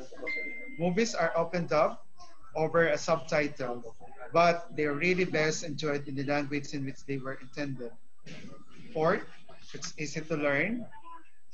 Okay, why is it easy to learn? Because it's really generally accepted that English isn't the most taxing language or the difficult language to understand. The vocabulary is simple to understand and it has developed throughout different languages regarding its evolution that is explained in the article about history of language. Fifth, it helps you understand other languages. Okay? English has a long and fascinating history that spans wars, and invasions, and influences from around the globe. Cultures that have helped shape modern English include the Romans, the Vikings, and the French, making English language a hybrid language comprised of Latin, Germanic, and Romance elements. Sixth, you can say things in a hundred different ways. One of English's best assets is the flexibility. You can often find many different ways to explain the same thing, and that is thanks to its wide range of vocabulary. It's said to have, well, over 750,000 words and is adding new ones every year as mentioned in the article about the history of English language. Seven, it can be used around the world. English is also hugely important as an international language and plays an important part even in the countries where the United Kingdom has historically had little influence. It is learned as a principal foreign language in most schools in Western Europe. It is also an essential part of the curriculum in far-flung places like Japan and South Korea, and it is increasingly seen as desirable by millions of speakers in China. So therefore, if you have the basics of English language, you can make yourself understood in nearly every corner of the world. Eight, it's really flexible. Non-native English speakers who learn it as a second language often comment on how many ways there are to say things. That's because English doesn't discriminate. You can use it however, however you like it. Countries like Singapore have taken this concept to heart, inventing and entire absorbed facets of other languages like Chinese and Malay. It's the language of the internet. Most of the content produced on the internet, that is roughly 50%, is in English. So knowing English will allow you to access to an incredible amount of information which may not be otherwise available in other sources. And then it continues to change. Selfie, hashtagging, blogging, and others. All these words are not part of the original language or English language, but have already become valued members of the lexicon. More than any other language, English continues to evolve and absorb new words that branch out, often untranslated, into other languages. Every year, approximately more than 1,000 new and improved words are added to the Oxford Dictionary. This tremendous development is the result due to technology, social media, and how people spontaneously coin new words during daily life. More information you can find in the article also of the history of English language. Now let's go to the 10 trends and innovation in English language teaching by Xuan Xuan Chong in 2018. So let's have blended learning and mobile learning. So start with blended learning. So from the word itself, blended. So as teachers combine digital media with more traditional forms of teaching, their course materials and resources reflect the trend. So this is a combination of face-to-face -face teaching and online lessons. So online creative activities for blended learning emphasizes the interaction between teachers and the learners themselves. For mobile learning, word itself mobile, online resources are more accessible with a mobile app or a mobile-friendly that turns vocabulary learning into a fun, competitive game you could play with your friends. Essential English Oxford, according to the Essential English Oxford University Press, which uses mobile technology to provide free resources for teachers and students, including flashcards, Facebooks, lesson plans, and other activities. Gamification. So as appealing to football players, an example of a game by LearnMaths, which uses training sessions, friendly matches, uh, cups, uh, leagues and cups games to make vocabulary learning fun for young learners. Get Set Go, Phonics by the Oxford University Press that uses chants, songs, and games to help develop preschool children's phonological awareness. So that means there's game involved so that learners, especially young ones, will be able to absorb the learning strategies or the learning skills that they need to have. Next, we have embodied learning. So embodied learning is based on the idea that learning is not just about remembering. It involves using mind and the body, collaborating, discussing, and exploring. Learners need to emotionally or to be emotionally, intellectually, physically, and socially engaged. Let's have inquiry-based learning or learning in a complex world. So the scenarios that teachers come across in some course materials can seem be simplified and unrealistic, leading us to wonder if we are adequately training our learners to be real life in the life of the 21st century. Okay, English as a lingua franca. So when the concept of English as a lingua franca was first discussed by teachers, academics, writers, and trainers, it was controversial. Why? Because many refused to consider how the concept of English as an international language might fit into course materials and language teaching. But today, we see resource materials like the PronPack and other many resources that are taking a non-prescriptive approach to accent and instead of focusing on increased intelligibility as the objective. So it uses elements of blended learning and gamification. Next, we have multiliteracies, and translanguaging. In global communities where English is common language of communication, alongside other languages, knowledge of other languages is an asset. Rather than diminish the learner's first language, teachers also are encouraging learners to use other or their own languages. This requires complex social and cognitive skills.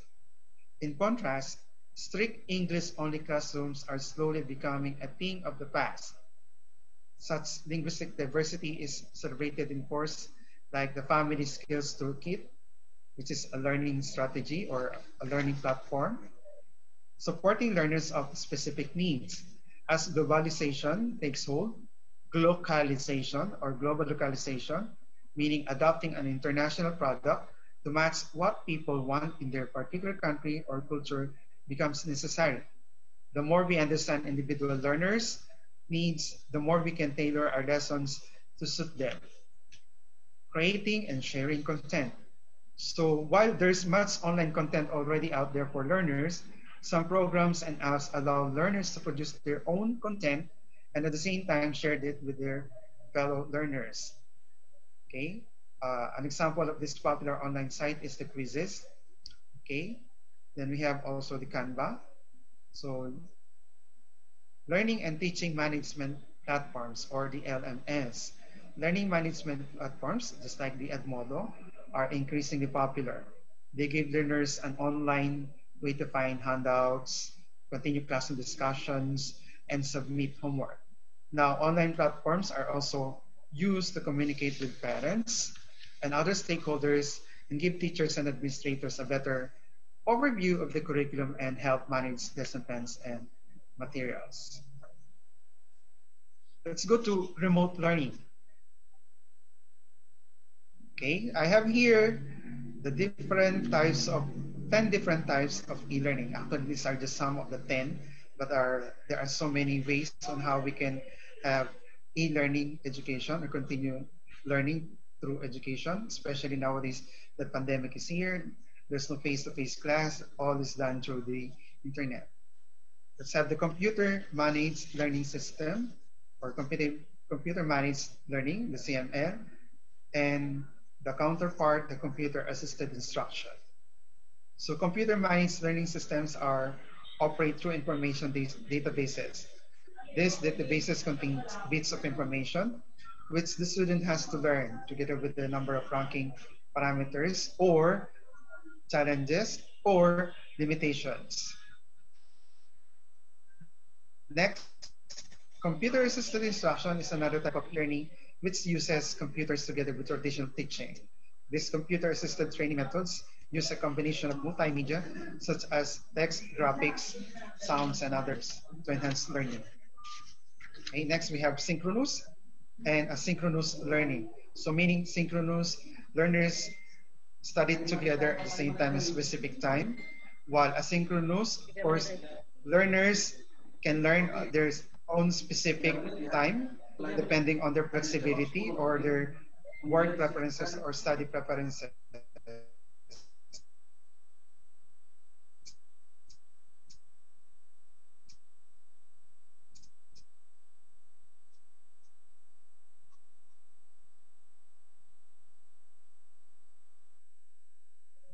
Its original state all the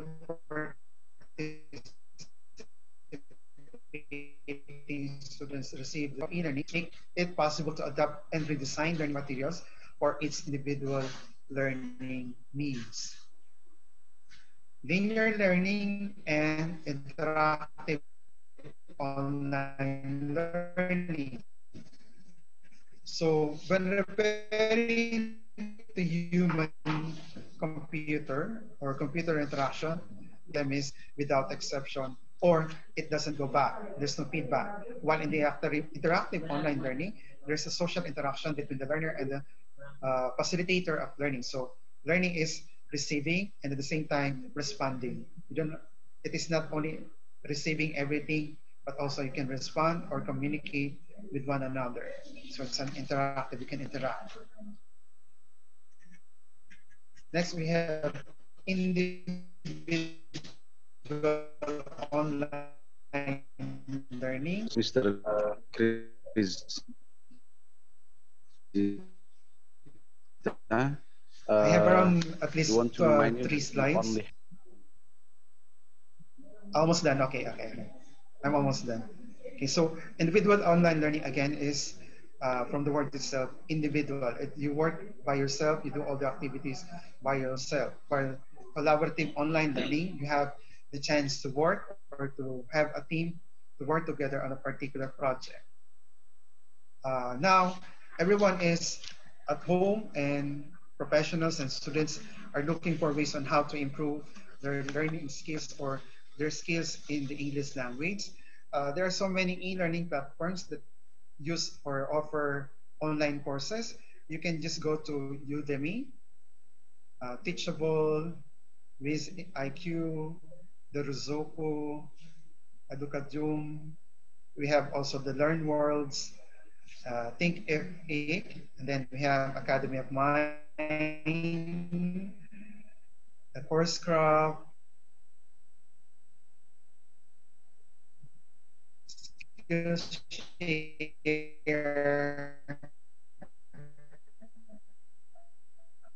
Of course, the popular one is uh, the e-learning platforms are Okay. mediums you can use for your online class. We have Edmodo, Reaper, Microsoft 365, Google Classroom, Flipgrid, Meet, Zoom, the Facebook Messengers, and others. Okay. Uh. I hope I was able to at least impart some details on informations, especially for those who are in line with the English language teaching to at least improve themselves and at the same time we will be able to improve our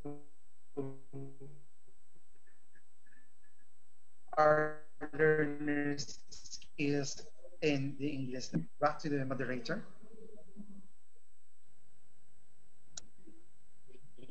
Okay, thank you very much, uh, uh, Dr. Sir Chris uh, Zian. Uh,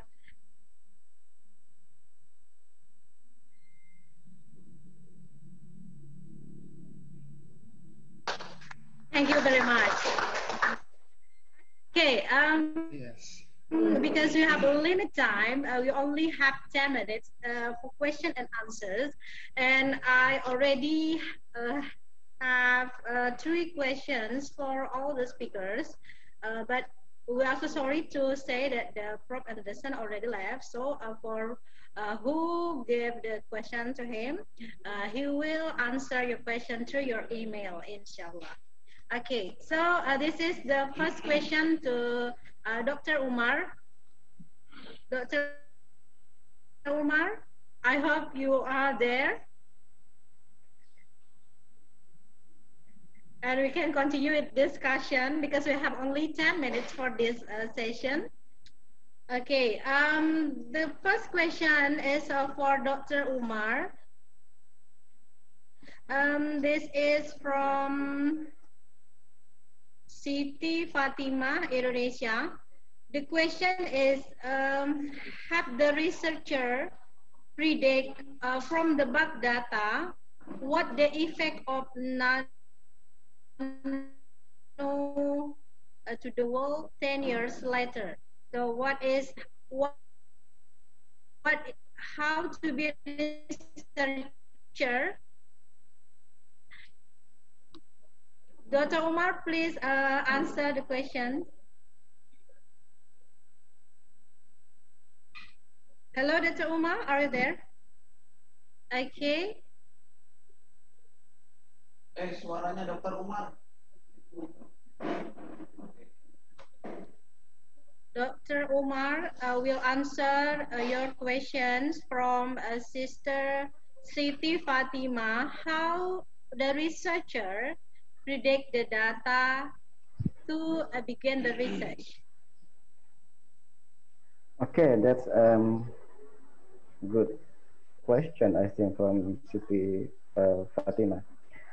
Well, research-based learning is try try to involve the students in in learning by doing research. This is this is uh, the key.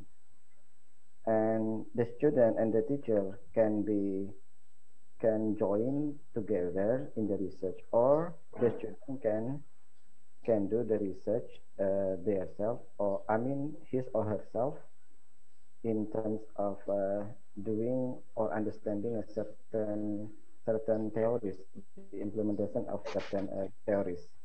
Related to the question about uh, the the data bank atau bank data is it is in general question for students who are studying at the university it depends on the major of the student itself do not move from uh, our major or the students uh, major. In the level of university many many kind of uh, major of course. In the education faculty they are major like uh, math major science major natural science major language major and many kind of major. But do not make conduct any research outside the major. It is it is the key. It is the key because uh, research-based learning try then do not learn by memorizing the story, the the theories, but they try to see the implementation of theories related to to research which are using certain technology, of course, the existence of the use of technology it's, itself must be provided maybe by the student or maybe by the university. This is very important. Do not conduct a research. We cannot, you can, which you cannot get the data. This is the key. You cannot ah, okay. do the research without any data. So make sure that you can do a research using the equipment or the sources yeah. that you have in your environment. Okay, thank you, Dr. Umar. Uh, I think we already get the main answer from Dr. Umar. So you have to um, make sure that if you want to do research, you have to make sure that you can get the data. Yeah, that was a very great answer. Um, so this is the second answer for Dr. Umar. From Sapi uh, Wins Bandung, uh, the, uh, the question is, how does uh, IAIN Samarinda solve the problem when there are students who experience difficulty of signal or quota. So how do cannot, how do you think, Dr. Umar? I, I cannot hear. If there is uh, some student of IAIN Samarinda, yeah, get. I cannot hear you the cannot question. Hear me? Yes, Hello? I cannot hear the question. Hello. Uh, I lose the signal. I cannot okay, hear the question. I will repeat the, okay, I'm sorry, Dr. Umar. I will repeat the questions. Uh, the question is, how does IAIN Samarinda solve the problem when there are students who uh, difficult, who has difficult on get signal or connection and internet quota? how to solve that problem? Yes. Yeah, uh, thank you for the question. This is very, very uh, difficult question for many institutions. Um, gaining the knowledge is actually is our our duty, our our own duty actually, not related to the institution. Of course, at IAIN Samarinda here, we are at, as I know, at IAIN Samarinda, um, IAIN Samarinda has already found the way by making cooperation with with many providers in Samarinda, with Telkomsel and also with Indosat and also with uh, XL.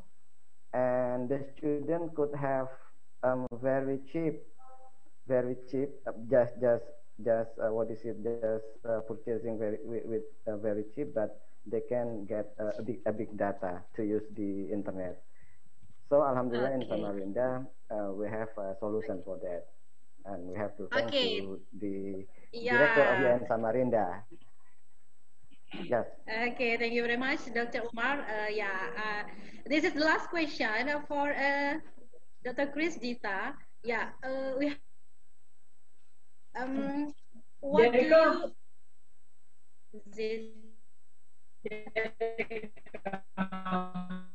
yeah they do uh, to make this English language can as innovation in Philippines?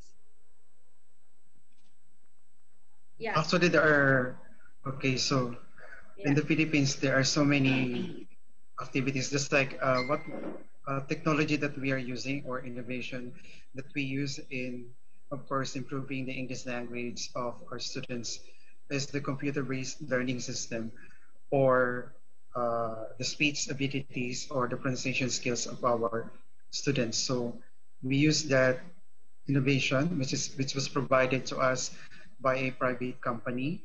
So at least to improve, of course, the speech abilities and of course to increase the uh, word power or the knowledge in different words and to be able to use them in the day-to-day classes or day-to-day living of our students. So we equip them on how to pronounce words correctly and at the same time we provide them with enough vocabulary so that they can stay uh, because a student cannot speak in, in, in the English language if, does, if he doesn't have any uh, words that he knows that is relevant to the particular situation. So we must first equip them with words or many words so that they will be able to play with those words and be able to speak the English language well.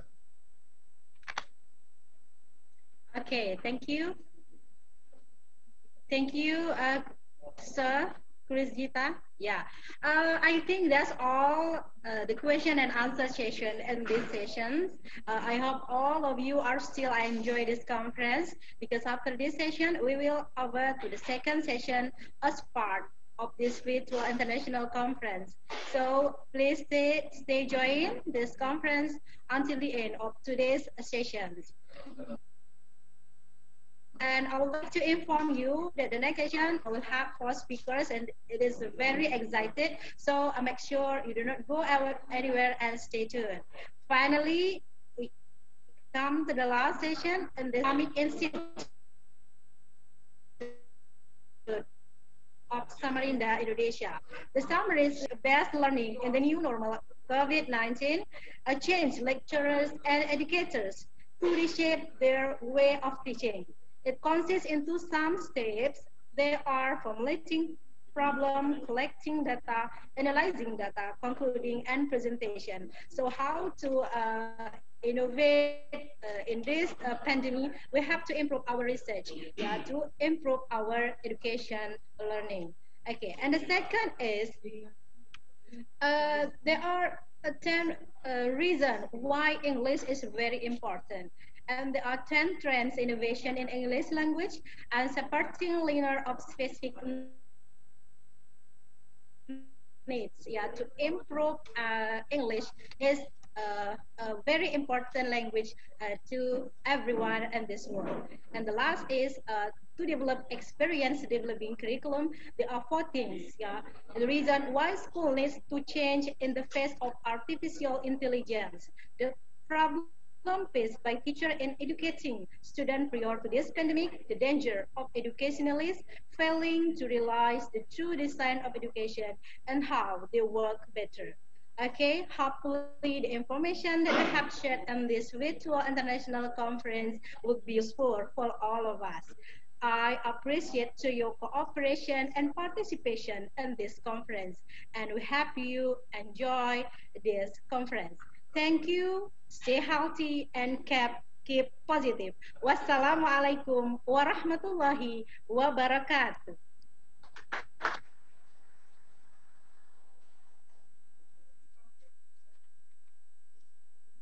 Okay, all participants.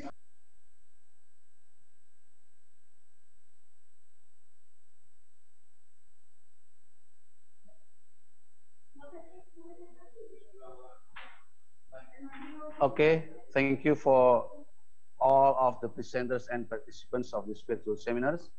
All participants, I just want to remind you to not leave this virtual seminar because we are going to have a break for five minutes to prepare our second virtual meetings. Inshallah, the next virtual seminar will be held at 4 o'clock in the middle time of Indonesia. Okay, stay tuned.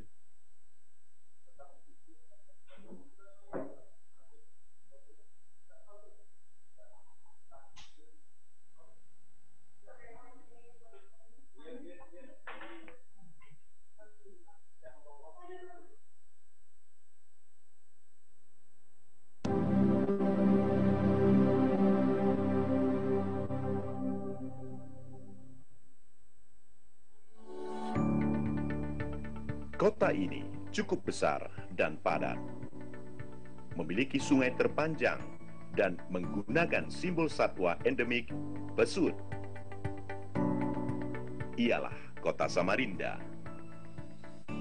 Merupakan pusat pemerintahan ibu kota Kalimantan Timur. Dari masa ke masa, kota ini terus menunjukkan peningkatan tak hanya di sektor perekonomian, namun juga di sektor pendidikan.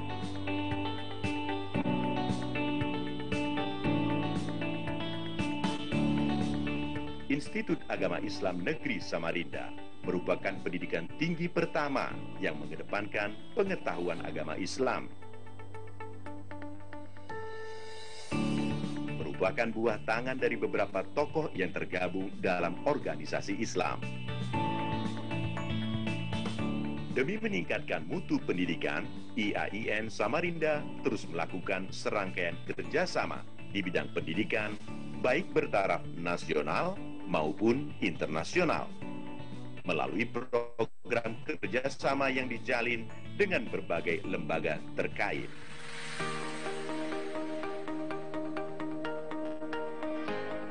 Sejak berdiri, sampai sekarang Institut Agama Islam Negeri IAIN Samarinda telah mengalami sembilan kali periode kepemimpinan.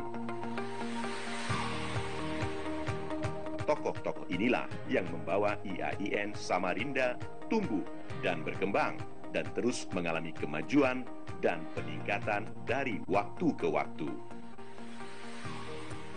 Infrastruktur pendidikan didukung beberapa gedung bertingkat, dilengkapi dengan fasilitas penunjang berupa gedung perpustakaan, laboratorium, dan masjid untuk praktik ilmu agama Islam dengan menerapkan konsep lingkungan hijau.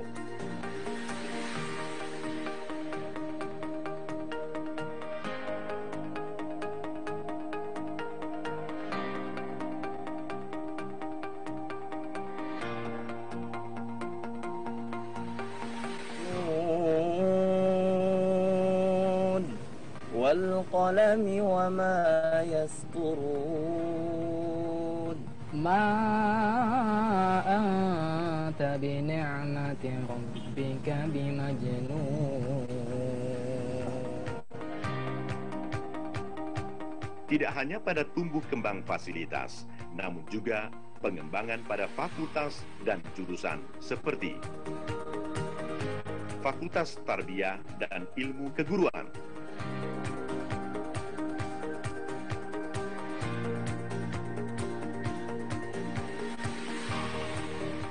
Fakultas Syariah,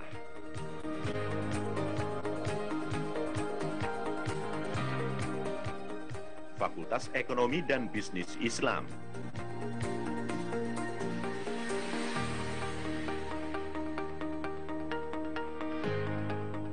Fakultas Ushuluddin, Adab dan Dakwah,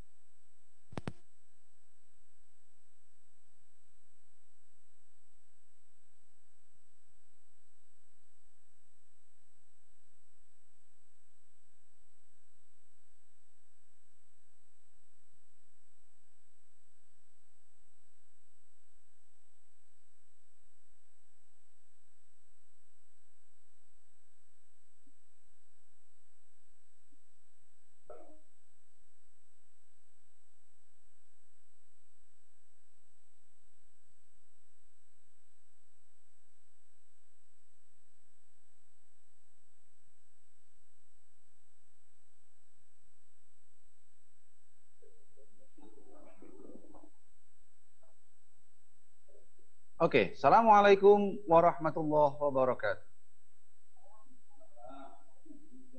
All participants, before the moderator starts, I am as co-moderator once again would like to announce you some important information related to this conference.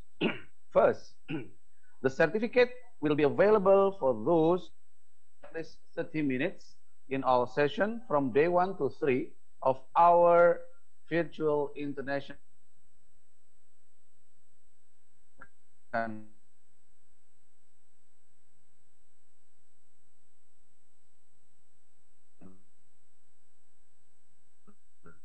Second, the e-certificate link for your participation can be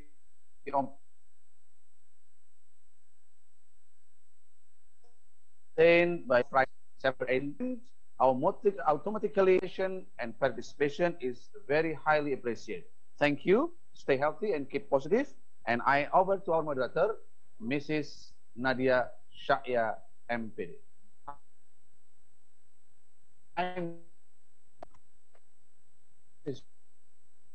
Thank you. Assalamualaikum warahmatullahi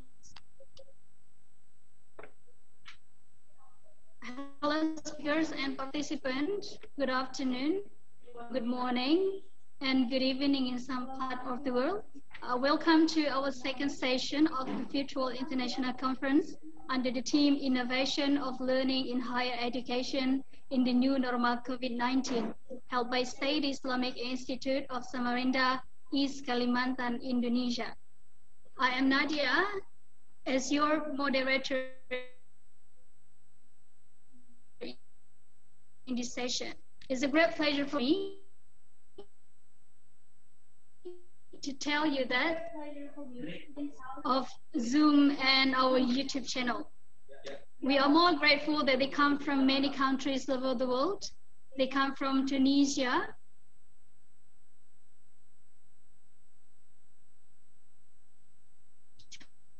Taiwan, Nigeria, Palestine, Egypt, Yemen, Iraq, Iran, Bahrain, Mexico, Romania, French, Jordania, Libya, Malaysia, Pakistan, Peru, Saudi Arabia, Sudan, Turkey, United Arab Emirates, Israel, Kuwait, Qatar, Sri Lanka, Montenegro, Macedonia, Mozambique, Nepal, and of course, Indonesia. So thank you very much for joining us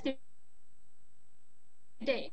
Before we begin presentation, let me inform you that the conference today will be divided into two parts. There are presentation from four speakers.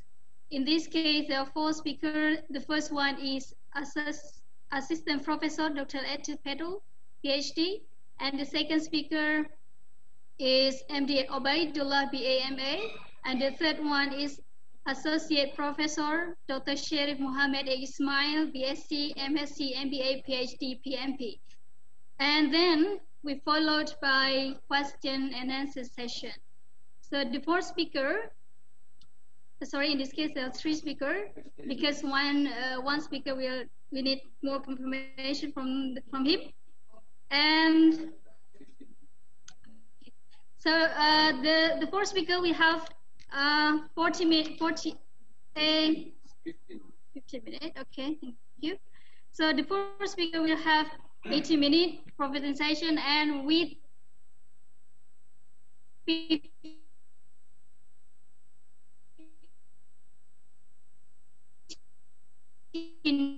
minutes and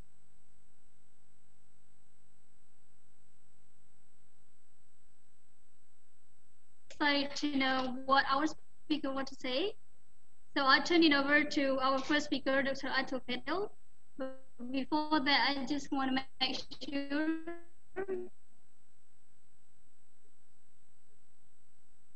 that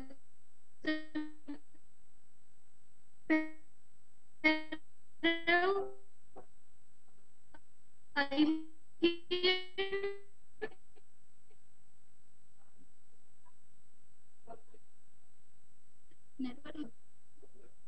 Hello, Dr. Patil. Dr. Patil, are you here?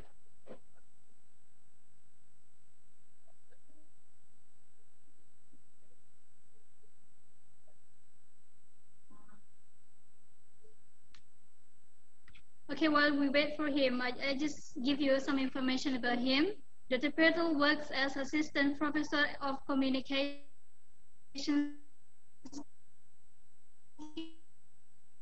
field at the College of Work for Symbiosis International University at its English Language Teaching Institute of Symbiosis as lecturer and senior coordinator for six years. He has been nominated as honorary vice president of the Pune of India. He also a certified trainer and speaking is a minor for the Cambridge English Language Assessment, which is part of Cambridge University. So Dr. Patil, are you here? Yes, am I audible? Yes. Yeah, may uh, I? How are you? Yeah, may, yeah, I'm fine, thank you. May I request you to make me a co-host so that I can share my presentation?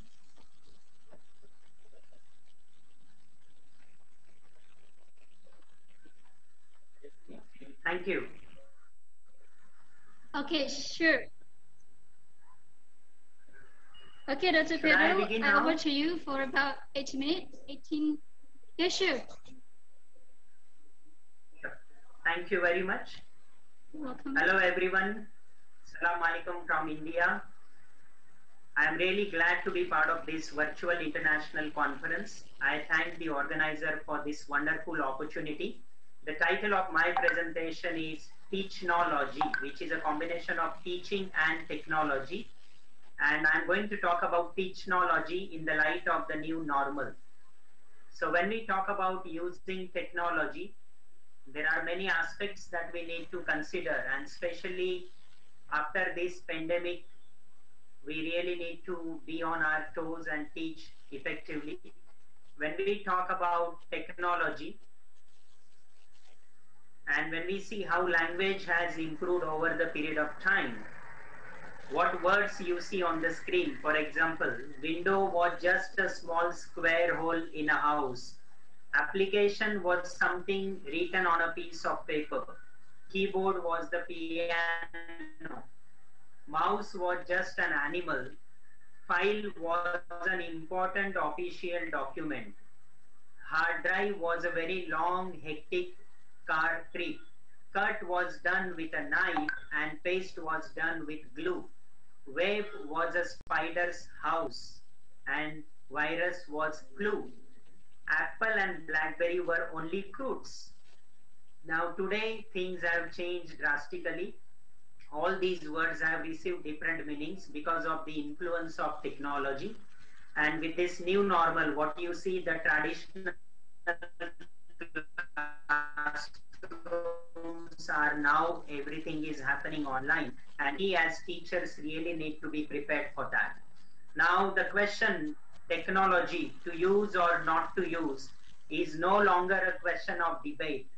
It was a question of debate just a couple of months ago before this pandemic was broken out.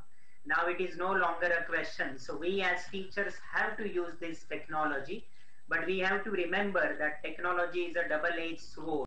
It can harm as well as it can benefit us. So as a teacher, we really need to have a good balance between this because when we talk about technology we really need to have balance like if this is technology one side is very sharp the other side is very bold and we really need to have a balance so when i use technology i should be able to have a balance like this these both the sides. So having balance is very important. Not more use of technology not less of technology. Now thousands of rupees or dollars have been invested in many colleges. That is not the problem. Many colleges have good infrastructure.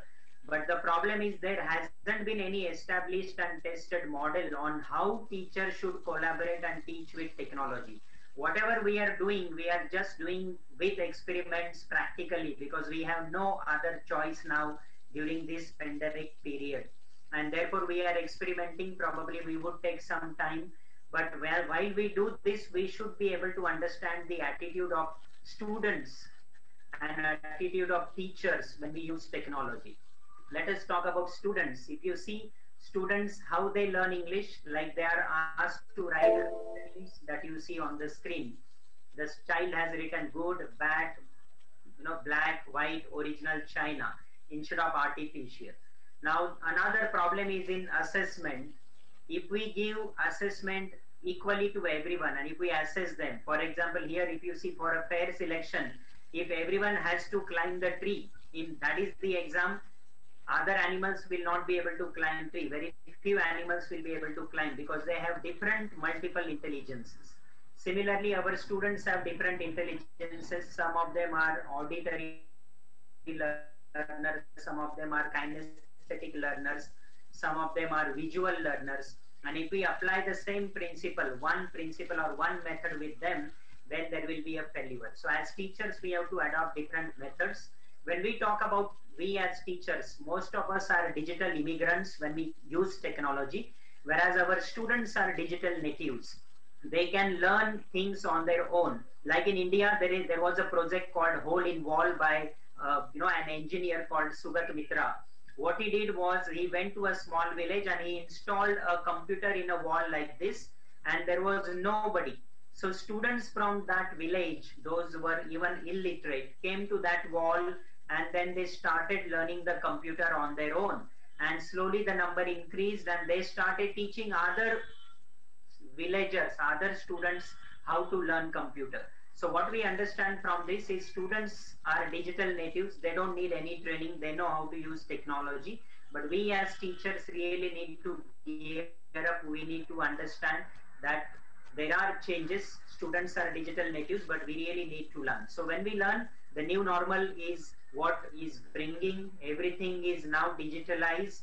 Everything is just a click away. So teachers have to teach, record their lectures. Everything is online. Books, whatever we read, everything is online. And this is how the student's attitude is. Like the student here is asking the teacher to see her, you know, his homepage for homework. Now, uh, dad is saying, uh, you know, this is previous before the lockdown. Like dad was asking, how was your school? And the child is saying, you can read all about this on my blog, dad.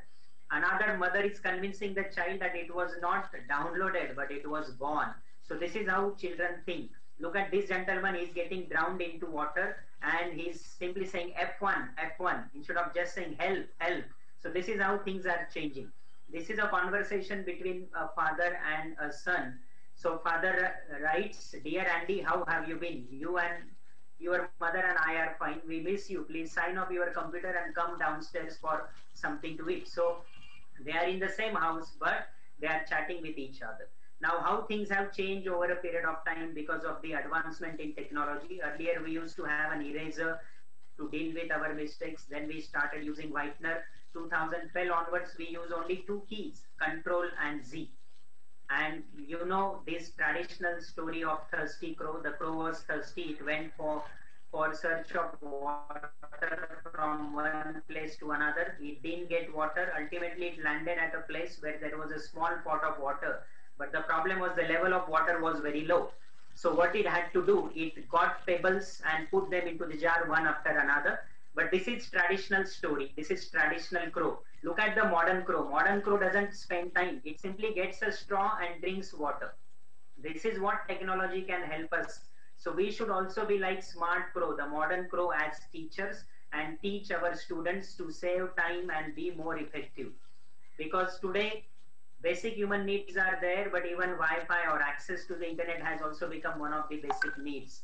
And when we talk about using language by youth, this is how they use language, not only words and phrases or sentences, they use acronyms like these. Uh, if we are able to guess the meaning, then we know their language. If we are not able to guess, then this is how they communicate with each other. Like LOL stands for laughing out loud, BRB, be right back, and so on. Not only words, but they also use different symbols that you see on the screen. All these symbols are used in their day-to-day conversation. So we should also be able to understand how they communicate with each other. So if we stoop, down to their level, probably we will be understand we will be able to understand their requirements. Now, after this new normal, after uh, the lockdown is over. This is what is going to happen. The new schools where will be there will be a place where students take responsibility of their learning. They are constantly engaged in higher order thinking skill activities. They work collaboratively. They work with each other, and there will be no fixed timetable. Uh, you know, like a schedule. And classroom will always utilize space in a meaningful way and the teacher will not be only the source of knowledge teacher will not be the sage on the stage our role will be like a facilitator a guide and we will be using blended learning and flipped classroom methods so the possibilities are endless of course this pandemic has been very bad uh, you know throughout uh, the world but for teachers i think this has been a blessing in disguise because we are now going to witness a new future so welcome to the future where we will be using technology. We will be exploring CALL and MALL, computer assisted language learning and mobile assisted language learning. And uh, when it comes to ELT, English language teaching, we have, you know, explored technology quite often. But what happens is when our students face uh, difficulties, like when they face an interview, for example, if you see my video, I have a bottle of water and three cups in my hand there is nothing in the cup. The water in this bottle represents knowledge. So when I take the first cup, that is the teacher. So we consume some knowledge. As teacher, we consume some knowledge. Now our responsibility is to pass on that knowledge to the second cup, that is the student. So we pass on that knowledge to the student. Now what is the student's role? The student's role is to pass on that knowledge to the third person, like employer. So how much knowledge they are able to reproduce? This much knowledge they are able to reproduce. So the question is, where does the water go? The water vanishes and therefore we really need to ensure that we are able to help them. So this is the problem with students that we need to overcome.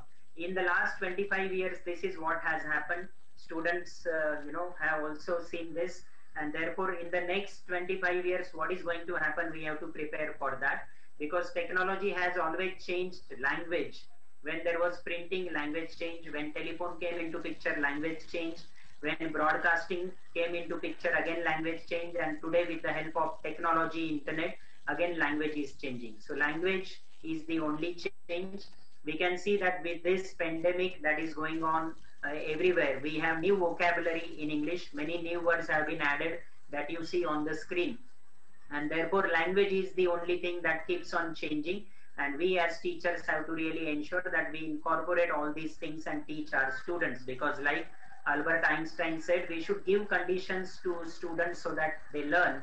And when we talk about bloom's taxonomy uh, that is the basic taxonomy but that has been revised and now it is bloom's digital taxonomy which we have to take into picture when we teach with technology when we talk about learning, learning is not always complete at every stage, and therefore technology can help us uh, reinforce learning. Digital media can offer this opportunity. They can revisit, they can watch our videos again. So that is an advantage when we use digital platforms. And we can also inculcate critical and creative thinking. But remember, technology cannot substitute teachers, but teachers who have good use of technology can do miracles.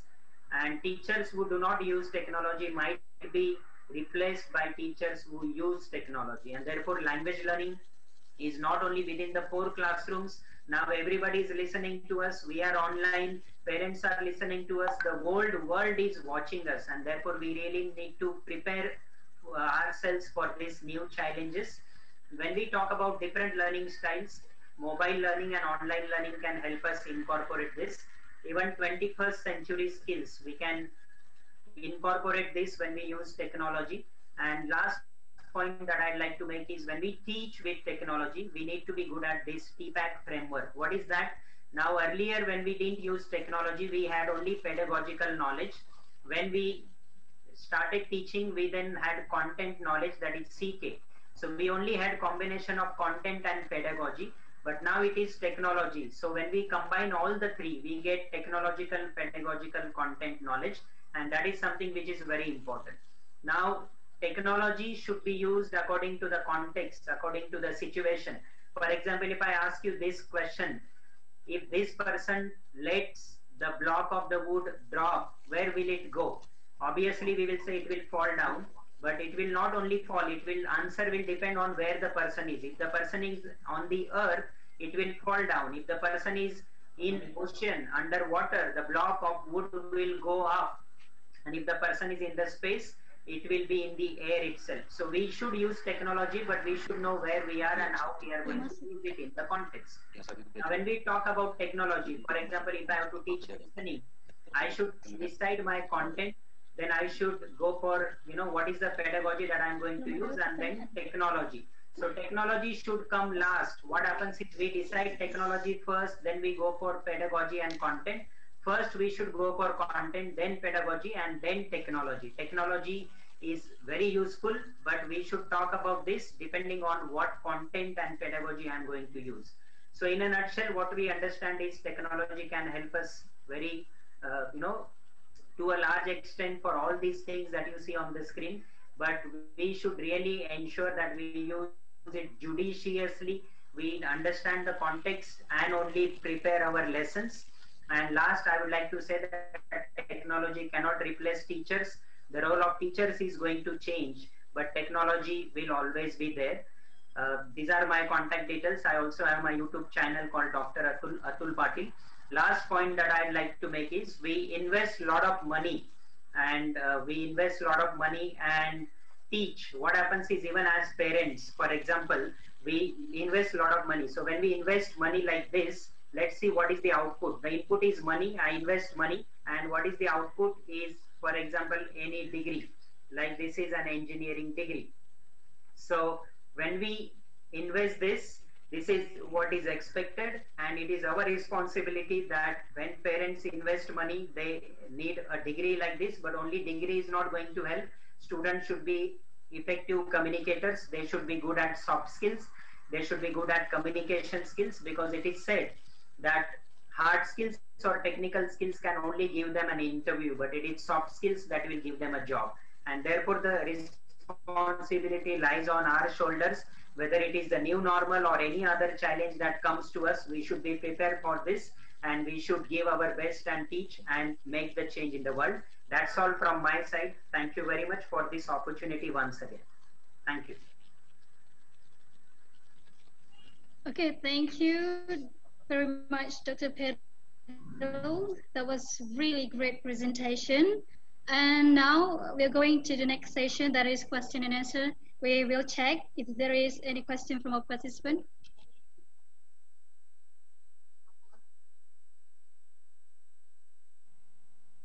Hmm. Hmm. Okay, let let me check.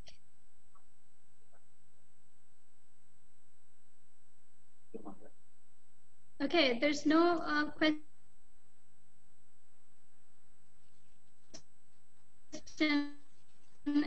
really, really great presentation and I like it. And maybe all of you know to uh, like it too.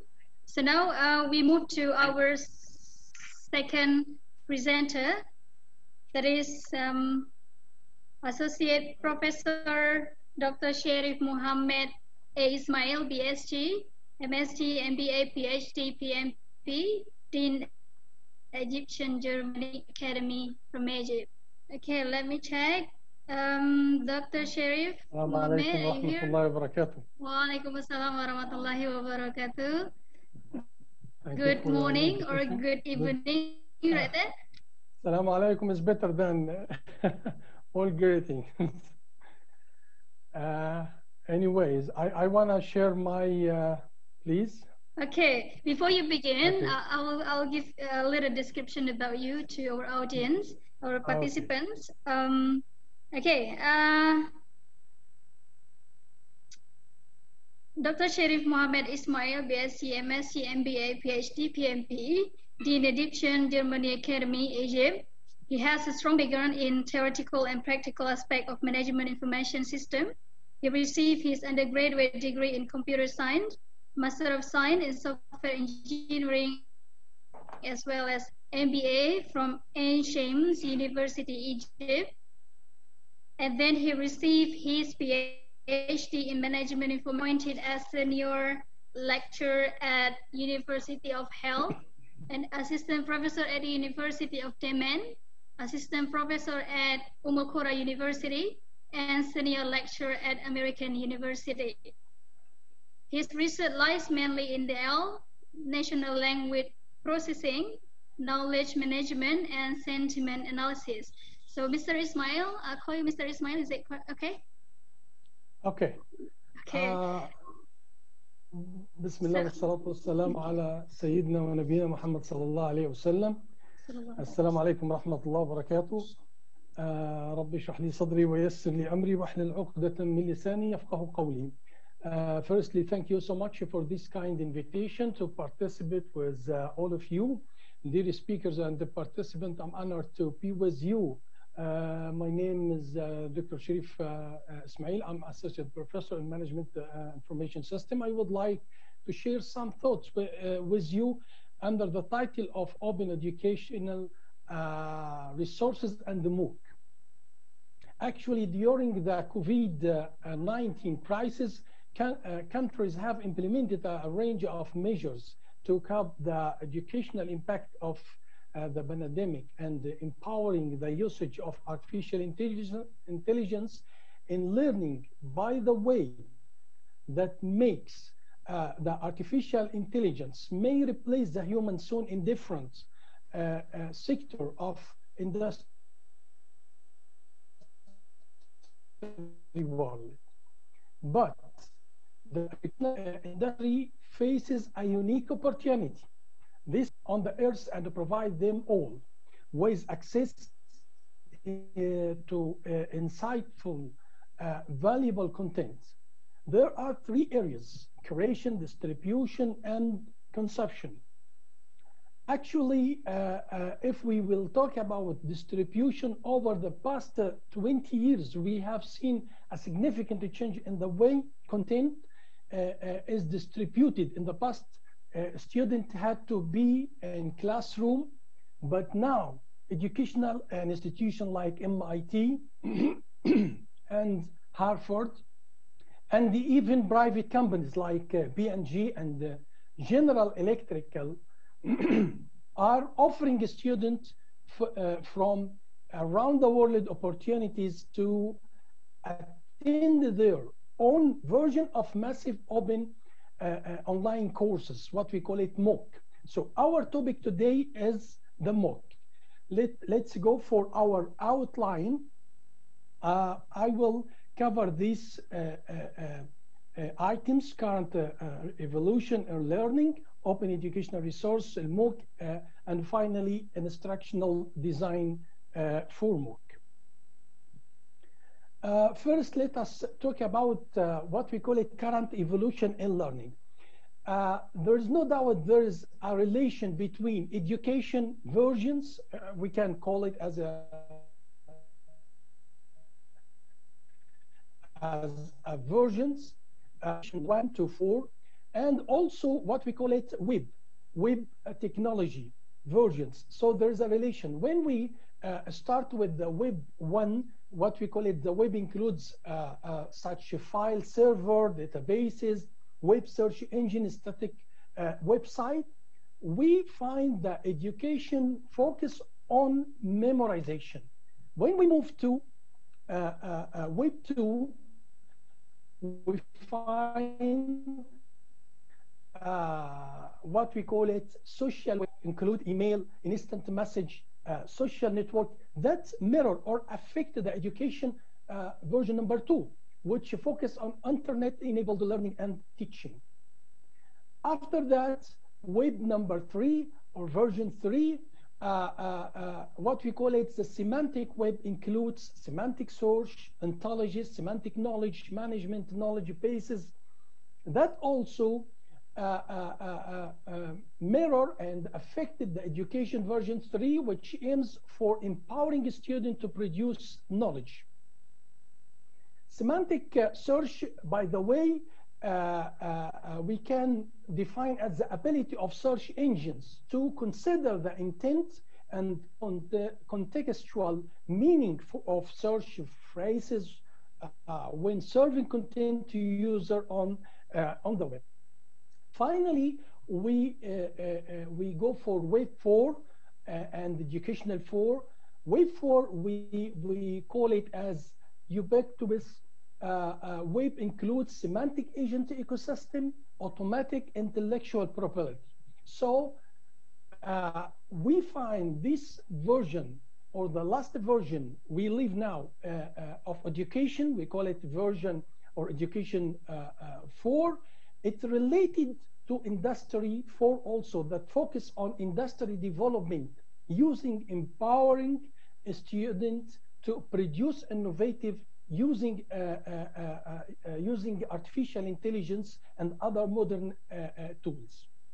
Actually, all the web version focus connect knowledge, but web 4 which focus on connect intelligence. Let us talk about current context. Actually, there is a force of uh, what we call it community. Uh, number one, uh, content. Actually, the quality content is a great way to attract the people who are needed to form the uh, elusive community that your uh, brand is hoping well to help build. When considering community initiatives, there are three questions to ask yourself. Where will the content come from? Does it provide uh, uh in, uh, in disputable value? Can a regular flow of quality content uh, be maintained? The second item, um, what we call it context.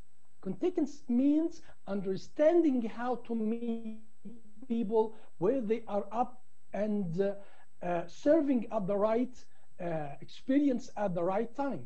Well-designed application and functionality and your course have great opportunity to deliver on context. Context means investing time in knowing how your users will want to engage with uh, their community.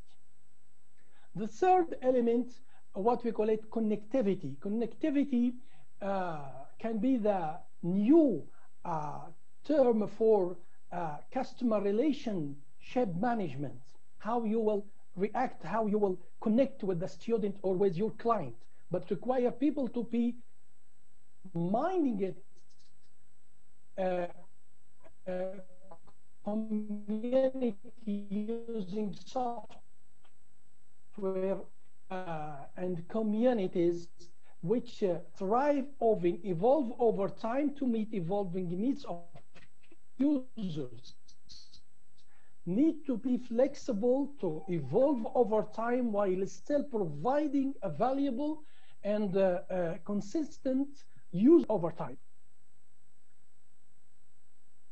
Uh, let us talk about what kind of impact on learning resources and uh, uh environment. Actually, uh, if we can divide, we see e-learning, m-learning, u-learning meaning of e-learning is a term that means something different at most everyone who use it.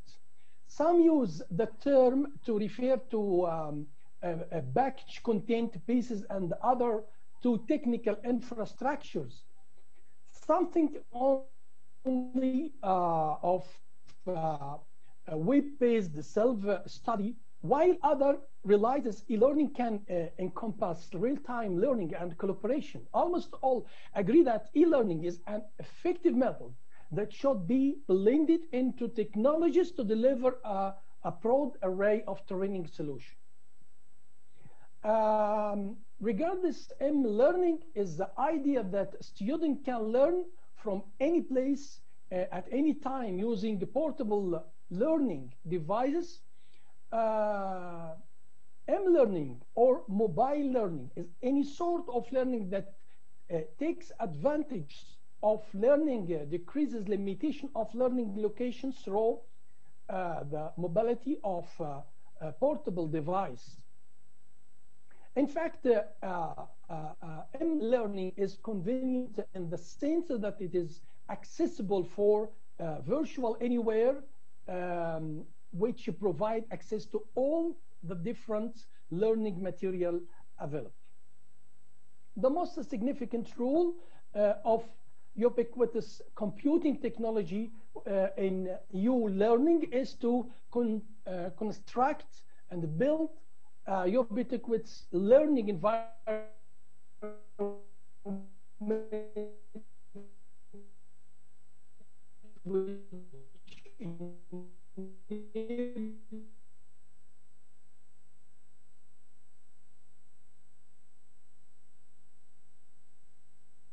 agents will bring a classroom to the, uh, the world.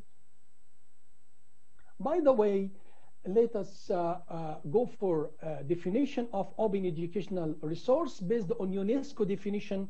Open, open educational resource are teaching, learning, uh, or uh, research materials that are in the public domain or related with an intellectual property license that allow for free use, adoption, or adaptation and distribution.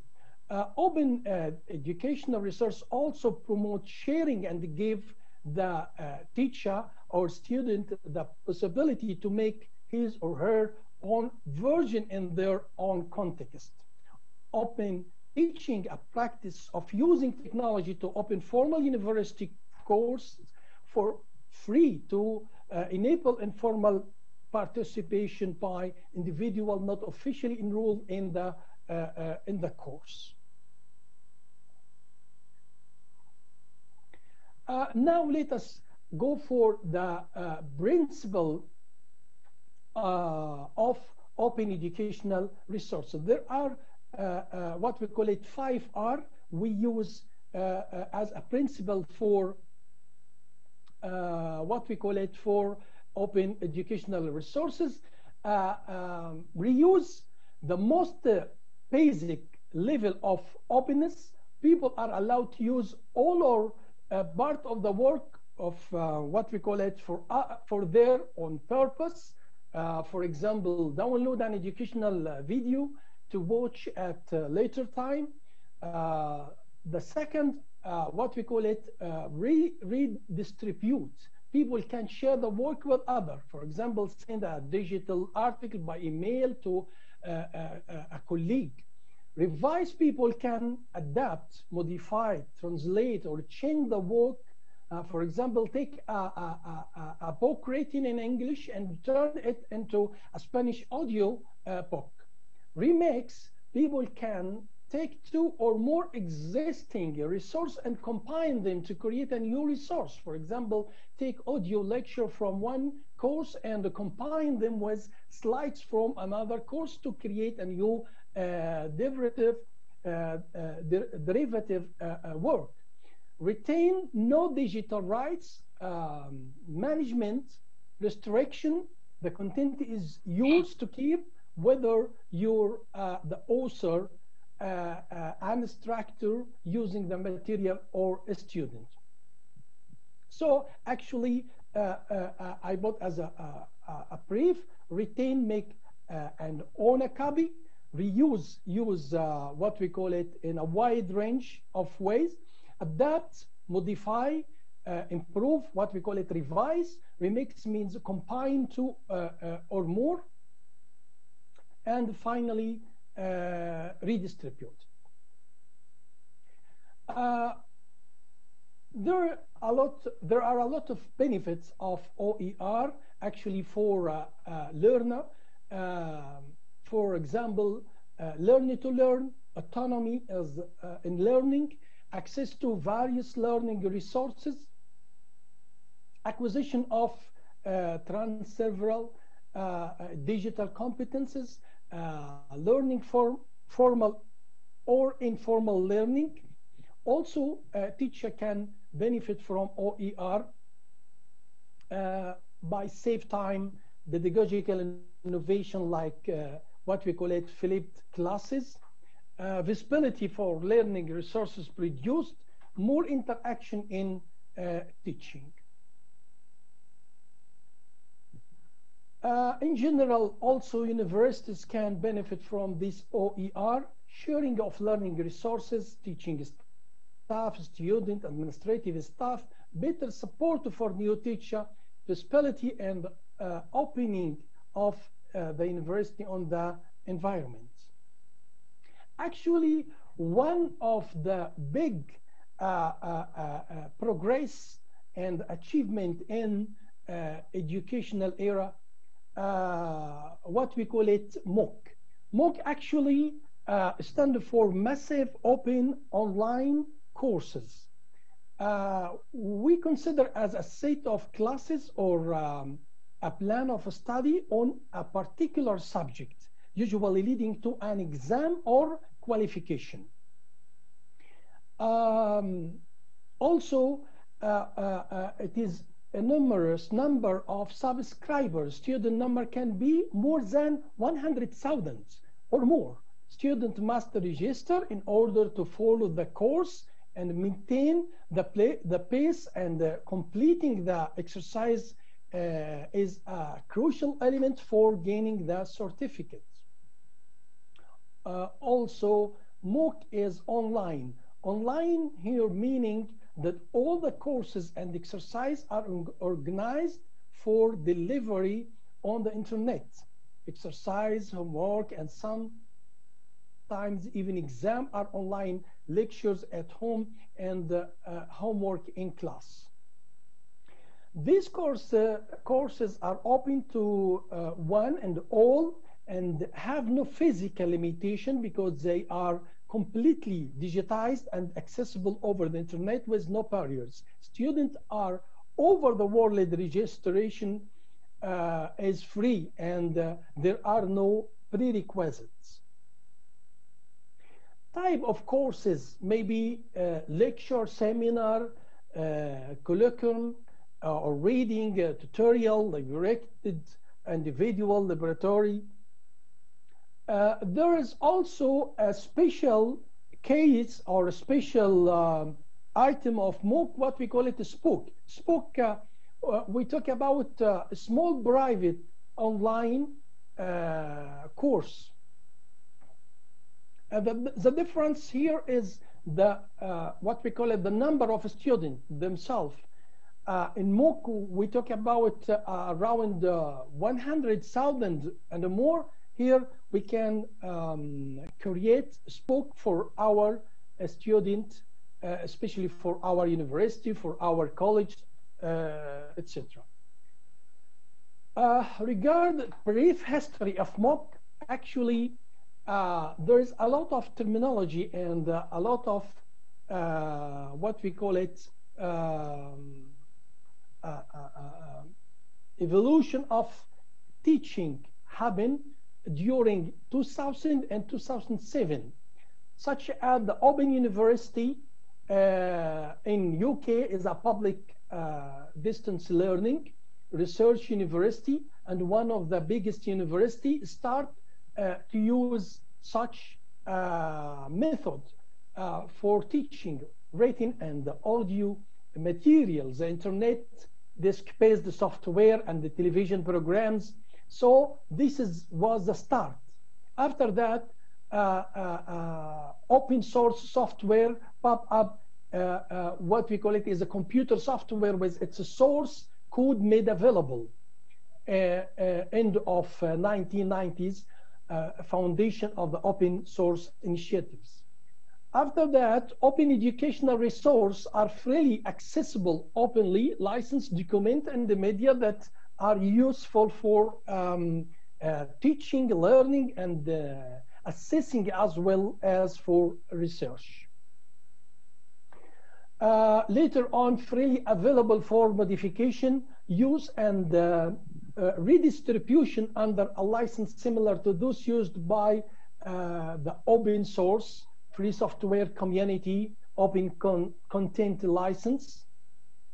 And then open courseware are uh, course lessons created at university and uh, published for free via the uh, internet. The open courseware movement started in uh, uh, also 1999 actually the the the start of what we call it MOOC uh, the first one was in Canada at uh, 2008 after that creation of two MOOCs platform Coursera edX at 2011 and uh, the year of MOOC was 2012. Actually, there are two models. Um, the, they are very common, what we call it X learning and uh, C learning. X learning stands for Extended Massive Open uh, Online uh, uh, Course, relies on a more traditional model of education based on uh, lectures recorded in videos and uh, usually is well financed and advantage of XMOOC is that they significantly broaden the number of students who can be exposed to university level course. Critics of um, XMOOC, however, uh, argue that XMOOC are uh, in, inferior to the university courses. They mimic because they eliminate teacher-student interaction and involve limited student-student interactions platform like edX, Coursera uh, provide X uh, uh, MOOCs. Uh, regarding the what we call it the second model, what we call it um, CMOOC, it is a connectivist MOOC uh, emphasize the con connectivist philosophy. It is a social platform for collaboratively sharing and building knowledge with within a community of people rather than being delivered by an individual instructor as in traditional university courses. CMOOC involve uh, groups of uh, people um, uh, uh learning together. CMOOCs often include blog, learning communities and social media platforms that contain content uh, and promote interaction um, uh, in this environment, the participants are all considered teacher and learners, which stands in contrast to the structure of um, XMOOCs, where each individual is either uh, uh, a student or a teacher. Uh, the pros of uh, MOOCs actually uh, uh, it's free and um, what we call it uh, high quality. It's a good opportunity, no formal requirement, and also the uh, cooperation is very uh, high. Um, regarding the cons, no accreditation, overcrowding, high attrition, lack of motivation, unreliable grading structure.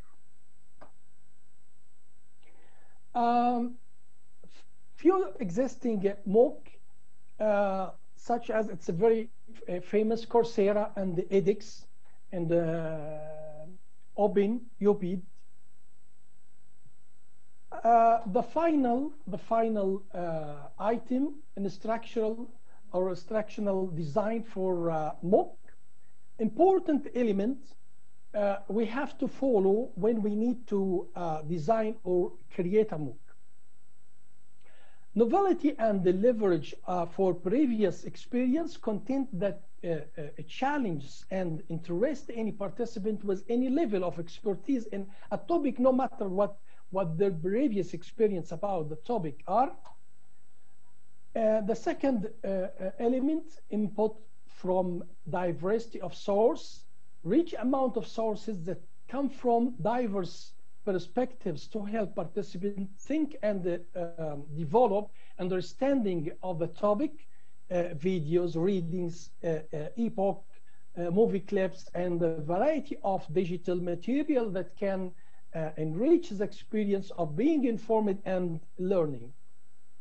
The third goes for understanding and further think self graded activities that allow participants to check their understanding of the weekly topic or discussion and uh, at the same time make participants think deeply about the issues presented in the week. Uh, motivation of engagement and community learning opportunities. Encourage participants to select a topic within the topic of the class have their own discussion and learning hubs invite them to use class material to trigger conversation and learning. The last item, planning for legacy, inspire participants to create information, to create uh, digital spaces that will continue the discussion or uh, the information seeking for the topic of the class, suggest the student to take uh, what they learn and uh, agent of change or discovery in their worlds of work or life. Thank you so much. Okay, sir. Thank please. you. Yeah, you just finished Yeah. your presentation. Thank right. you so much. On time. Thank you so much. Okay, thank you so much, Mr. Ismail. That was very fantastic presentation. And now we are going to the next session that is question and answer. And actually, you have one question from participants. And um, I will read the question. Yeah, please. The question is from Leni Miftahul Hasana. Um, actually, it is from Indonesia.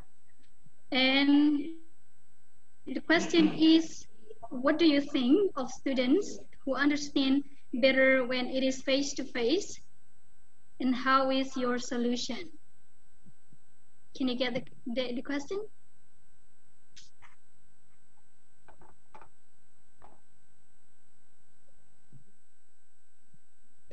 Okay. The question, as I heard from you, Yeah. she asked about it. What if do the you student, think? if the student like the face-to-face, right? Yes. That's a to great. understand better when it face to face because Okay. maybe using technology is get something barrier like that Actually, actually, um, there is no doubt face-to-face education is very better and uh, what we call it uh, suitable with uh, a lot of uh, students. But unfortunately, as we uh, see, if we face such pandemic or such uh, crisis, we have to find alternative. This alternative now, almost of these countries try to find alternative based on technology. Such uh, of this technology, what we call it artificial intelligence. This artificial intelligence as a technology, it's a, it's a fabulous technology. Now it can help or assist the teacher, but soon, maybe within five years, maybe within 10 years, I don't know exactly time, that will replace the teacher itself.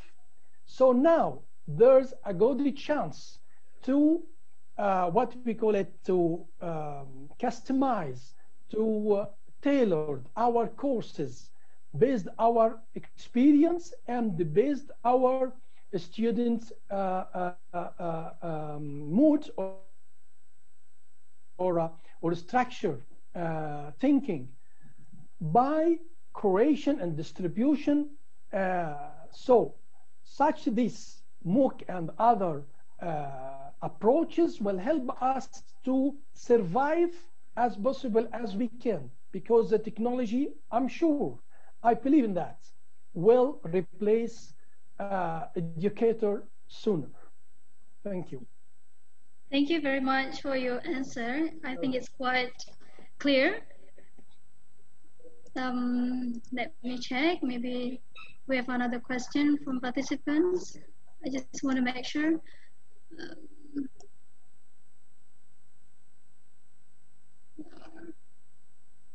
Rosemary. Okay, Rosemary, if you have a question, just write it on the chat board. We still wait, Professor, for at the moment. Maybe there are some participants will ask question.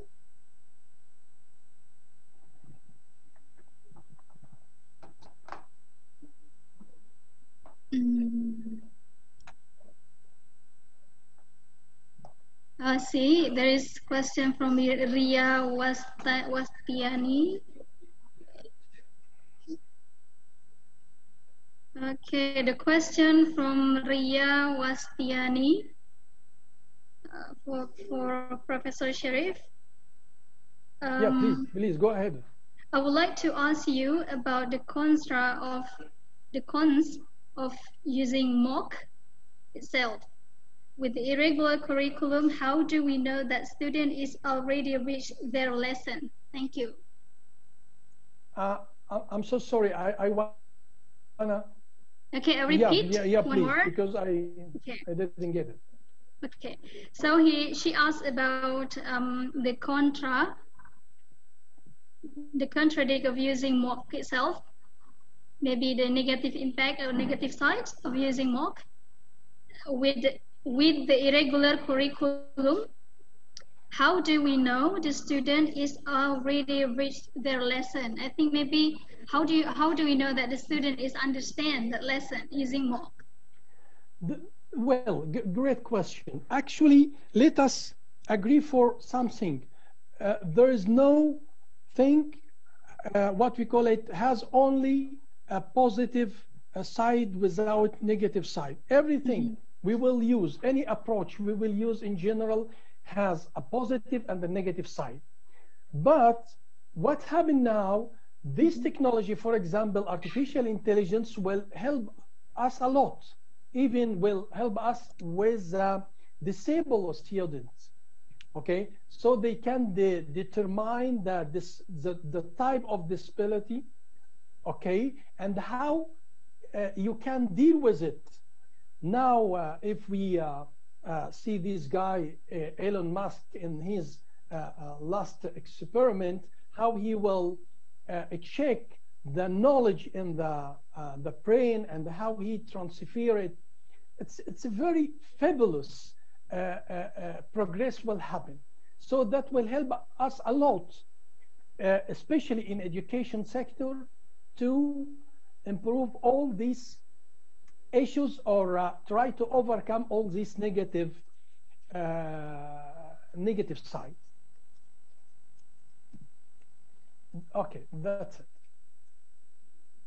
Okay, thank you for the answer, Professor so. Sharif. And we still have we still have another question for you, actually. Um, right.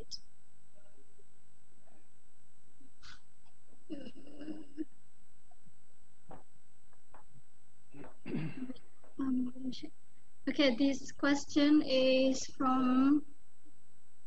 Okay, this question is from Laras Arinta Fauzia. She is from IAIN Samarinda, Indonesia. The question is, uh, oh, sorry, this is the question is for Dr. Pedro, and Dr. Pedro is late right, right now. And wait, I'm going to check it. Uh, okay, this one.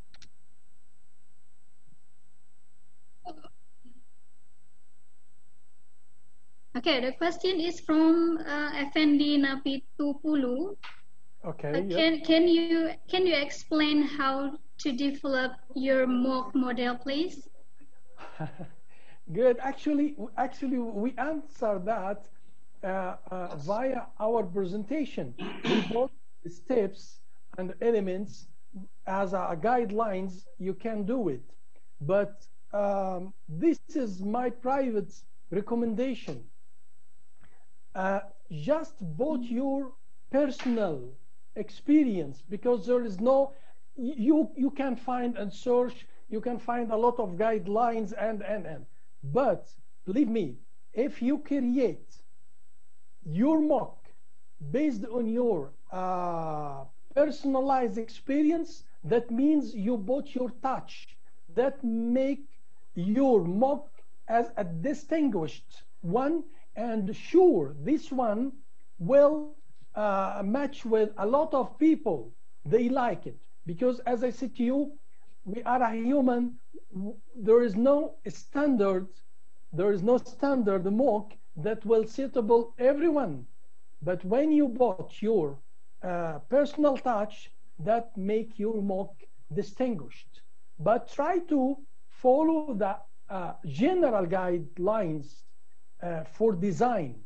But i mean what i need to say uh, finally the content how you will show it how you will uh, uh, uh, both in, in sequence. All this based on your experience because that will uh, carry your personal touch. That's it. Thank you.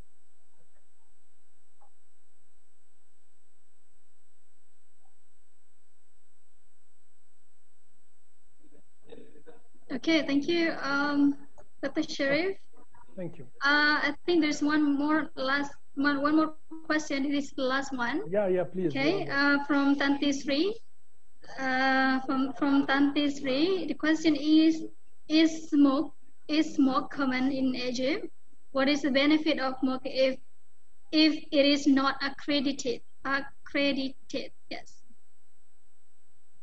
Is smoke common in Egypt? Maybe the using of, of smoke in Egypt is it common? Great, great. Uh, this uh, question, one of, of, of the cons of uh, MOOC, uh, not accredit, right? So uh, the question is how we can benefit from it if it is not um, accredited, right? Is that right? Yes. Great. If Actually, it's not accredited. Great, great. Actually, um, uh, what we call it, President, President Trump uh, within uh, one month ago, he uh, announced that the hiring during American,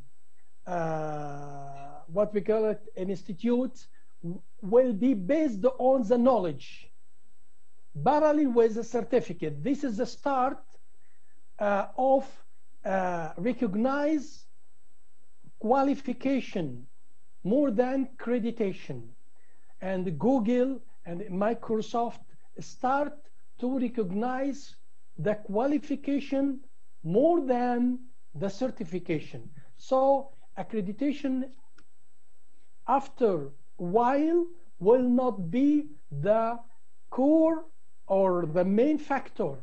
The knowledge and the skills will be the main factor and the will will be the key. So it will not be uh, anymore as a cons. And also now, some countries like Egypt try to solve this problem. They make a partnership with university, for example, Coursera, make a lot of partnership with a lot of uh, governmental uh, university in Egypt. So the university will accredit the certificate and Coursera will present the material. So both of the, the solution will overcome this problem. That's it. Thank you. Thank you so much for your great answer. And um, I think this is the end of uh, our last speaker. Actually, we have another two speakers, but we are really sorry that we just received the information that they cannot attend to our uh, event today because something important maybe. So we're really we are really sorry for that. Okay, so uh, I think this is the end of um, of our session, and uh, thank you very much for joining with us, for being with us, and thank you our speakers, our great speaker and audience participant. See you again in other events. Stay safe and stay positive. Thank you. Assalamualaikum warahmatullahi wabarakatuh. Waalaikumsalam warahmatullahi wabarakatuh.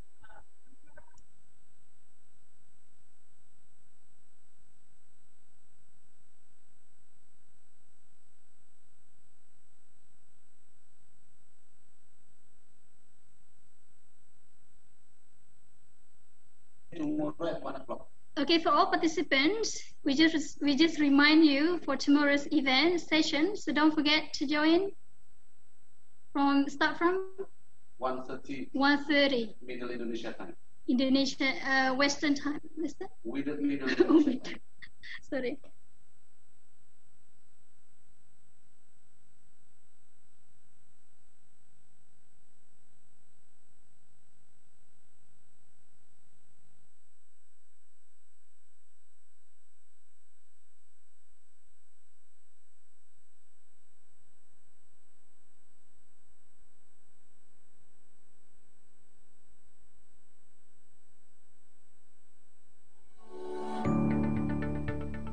Kota ini cukup besar dan padat. Memiliki sungai terpanjang dan menggunakan simbol satwa endemik pesut. Ialah kota Samarinda. Merupakan pusat pemerintahan ibu kota Kalimantan Timur. Dari masa ke masa, kota ini terus menunjukkan peningkatan tak hanya di sektor perekonomian, namun juga di sektor pendidikan.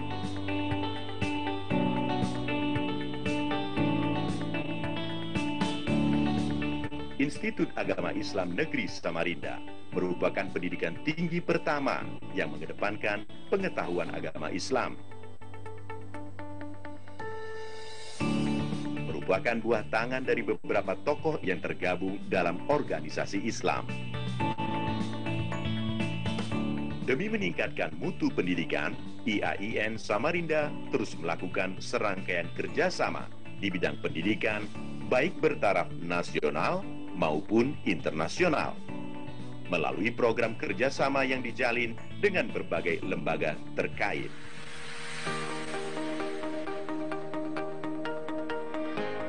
Sejak berdiri, sampai sekarang Institut Agama Islam Negeri IAIN Samarinda telah mengalami sembilan kali periode kepemimpinan.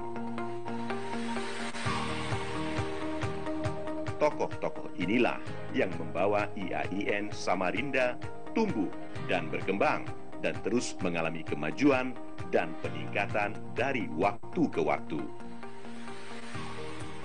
Infrastruktur pendidikan didukung beberapa gedung bertingkat, dilengkapi dengan fasilitas penunjang berupa gedung perpustakaan, laboratorium, dan masjid untuk praktik ilmu agama Islam dengan menerapkan konsep lingkungan hijau.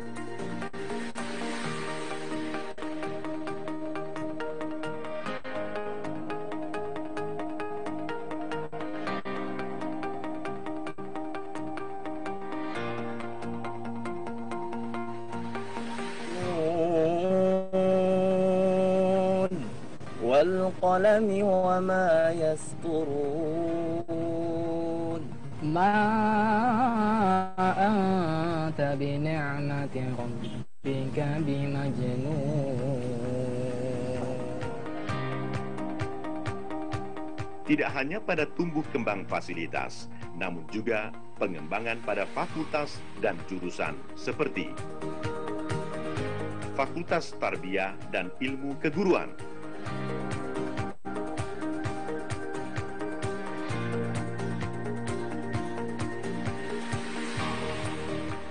Fakultas Syariah,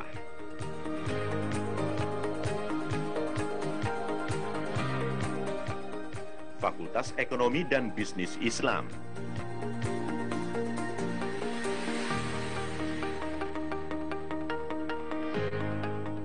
Fakultas Ushuluddin, Adab dan Dakwah.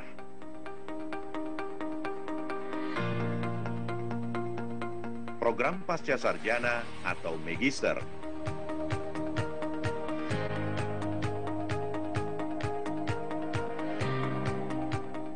Untuk menjamin kualitas pendidikan, di tiap fakultas IAIN Samarinda memiliki lembaga penjamin mutu atau LPM yang menjadi pusat quality assurance dalam menciptakan budaya mutu Tridharma Perguruan Tinggi demi mewujudkan visi IAIN Samarinda. Assalamualaikum. Waalaikumsalam. Alhamdulillah. Alhamdulillah. Alhamdulillah. Alhamdulillah.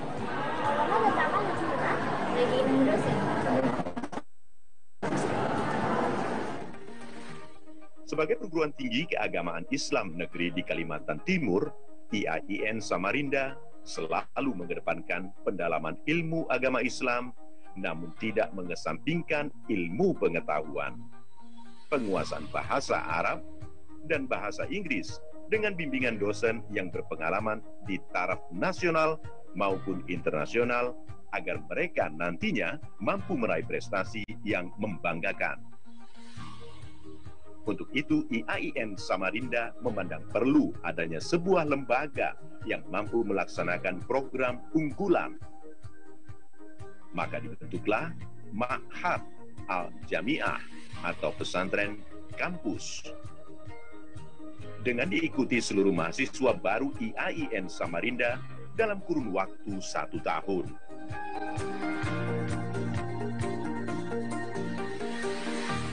Terlepas dari itu, puluhan unit kegiatan mahasiswa hadir untuk mengembangkan minat, bakat, serta potensi mahasiswa.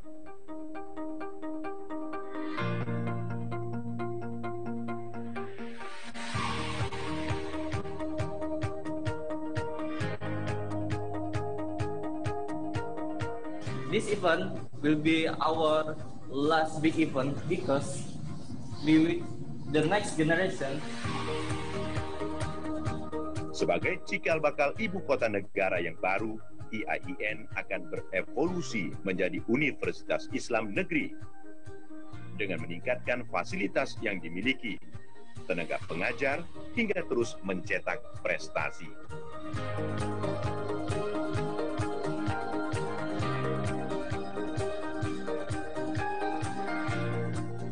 IAIN Samarinda bersama pemerintah Provinsi Kalimantan Timur terus bekerja sama dalam peningkatan mutu pendidikan melalui berbagai cara. Salah satunya pemberian beasiswa serta tidak kalah pentingnya lulusan perguruan tinggi mampu mengisi formasi-formasi pekerjaan baik di pemerintahan ataupun swasta.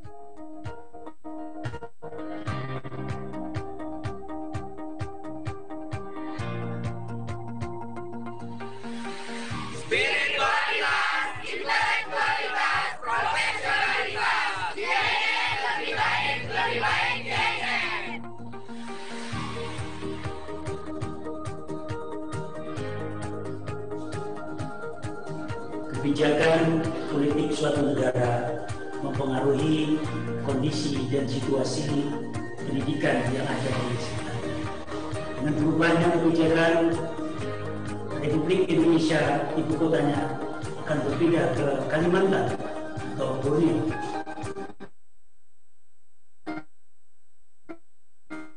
Menuntut kita semua, termasuk IAIN Samarinda yang terbaik sesuai dengan tuntutan peradaban bangsa.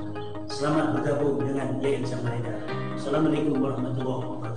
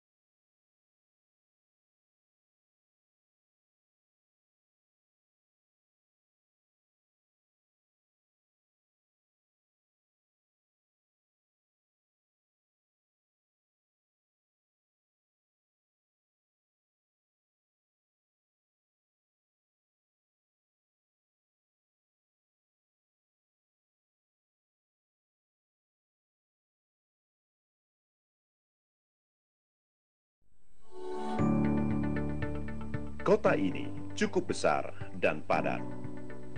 Memiliki sungai terpanjang dan menggunakan simbol satwa endemik pesut.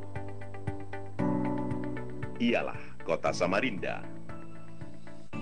Merupakan pusat pemerintahan ibu kota Kalimantan Timur. Dari masa ke masa, kota ini terus menunjukkan peningkatan tak hanya di sektor perekonomian, namun juga di sektor pendidikan.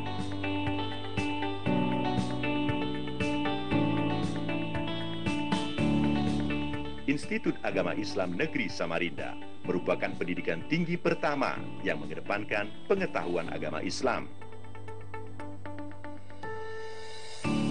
Merupakan buah tangan dari beberapa tokoh yang tergabung dalam organisasi Islam.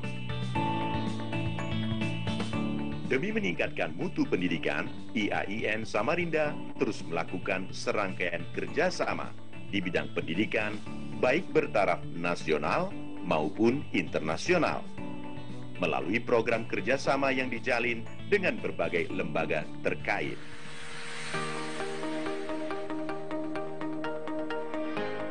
Sejak berdiri, sampai sekarang Institut Agama Islam Negeri IAIN Samarinda telah mengalami sembilan kali periode kepemimpinan. Tokoh-tokoh inilah yang membawa IAIN Samarinda tumbuh dan berkembang dan terus mengalami kemajuan dan peningkatan dari waktu ke waktu. Infrastruktur pendidikan didukung beberapa gedung bertingkat, dilengkapi dengan fasilitas penunjang, berupa gedung perpustakaan, laboratorium, dan masjid untuk praktik ilmu agama Islam dengan menerapkan konsep lingkungan hijau.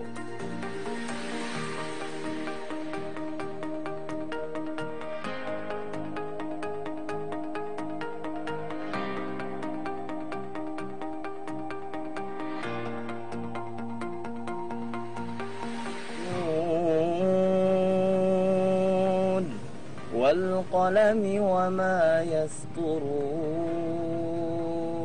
ما أنت بنعمة ربك بمجنون Tidak hanya pada tumbuh kembang fasilitas, namun juga pengembangan pada fakultas dan jurusan seperti Fakultas Tarbiyah dan Ilmu Keguruan,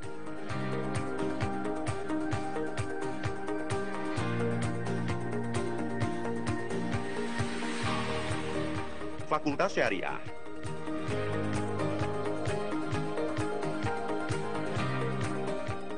Fakultas Ekonomi dan Bisnis Islam,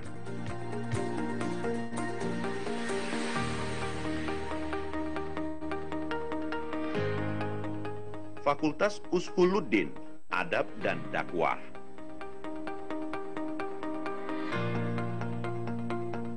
Program Pasca Sarjana atau Magister.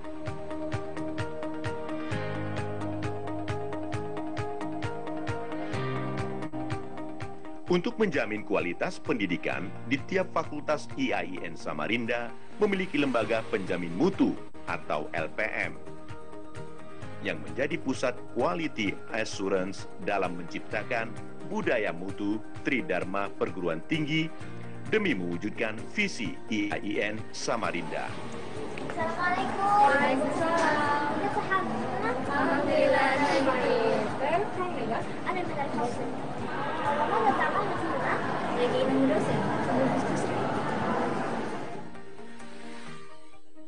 Sebagai perguruan tinggi keagamaan Islam negeri di Kalimantan Timur, IAIN Samarinda selalu mengedepankan pendalaman ilmu agama Islam namun tidak mengesampingkan ilmu pengetahuan, penguasaan bahasa Arab dan bahasa Inggris dengan bimbingan dosen yang berpengalaman di taraf nasional maupun internasional agar mereka nantinya mampu meraih prestasi yang membanggakan. Untuk itu, IAIN Samarinda memandang perlu adanya sebuah lembaga yang mampu melaksanakan program unggulan.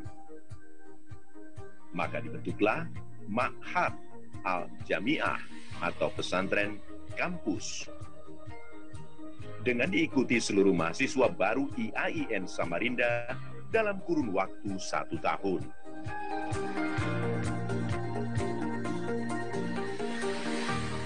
Terlepas dari itu, puluhan unit kegiatan mahasiswa hadir untuk mengembangkan minat bakat serta potensi mahasiswa.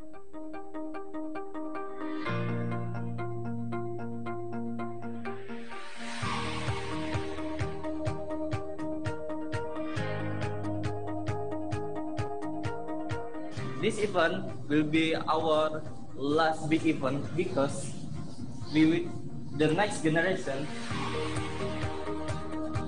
Sebagai cikal bakal ibu kota negara yang baru, IAIN akan berevolusi menjadi Universitas Islam Negeri dengan meningkatkan fasilitas yang dimiliki, tenaga pengajar, hingga terus mencetak prestasi.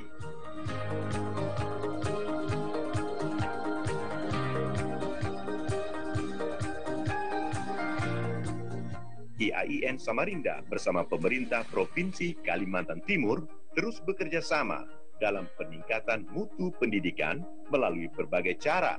Salah satunya pemberian beasiswa, serta tidak kalah pentingnya, lulusan perguruan tinggi mampu mengisi formasi-formasi pekerjaan, baik di pemerintahan ataupun swasta.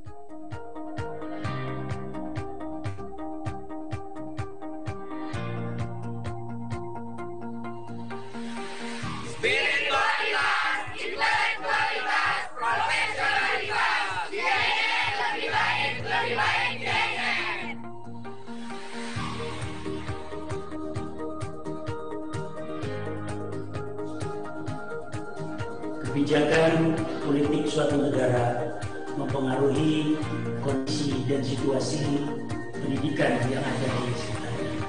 Dengan berubahnya kebijakan Republik Indonesia ibu kotanya akan berpindah ke Kalimantan atau Borneo. Menuntut kita semua, termasuk Yayan Samarinda, untuk berbuat yang terbaik sesuai dengan tuntutan peradaban bangsa. Selamat bergabung dengan Yayan Samarinda. Assalamualaikum warahmatullahi wabarakatuh.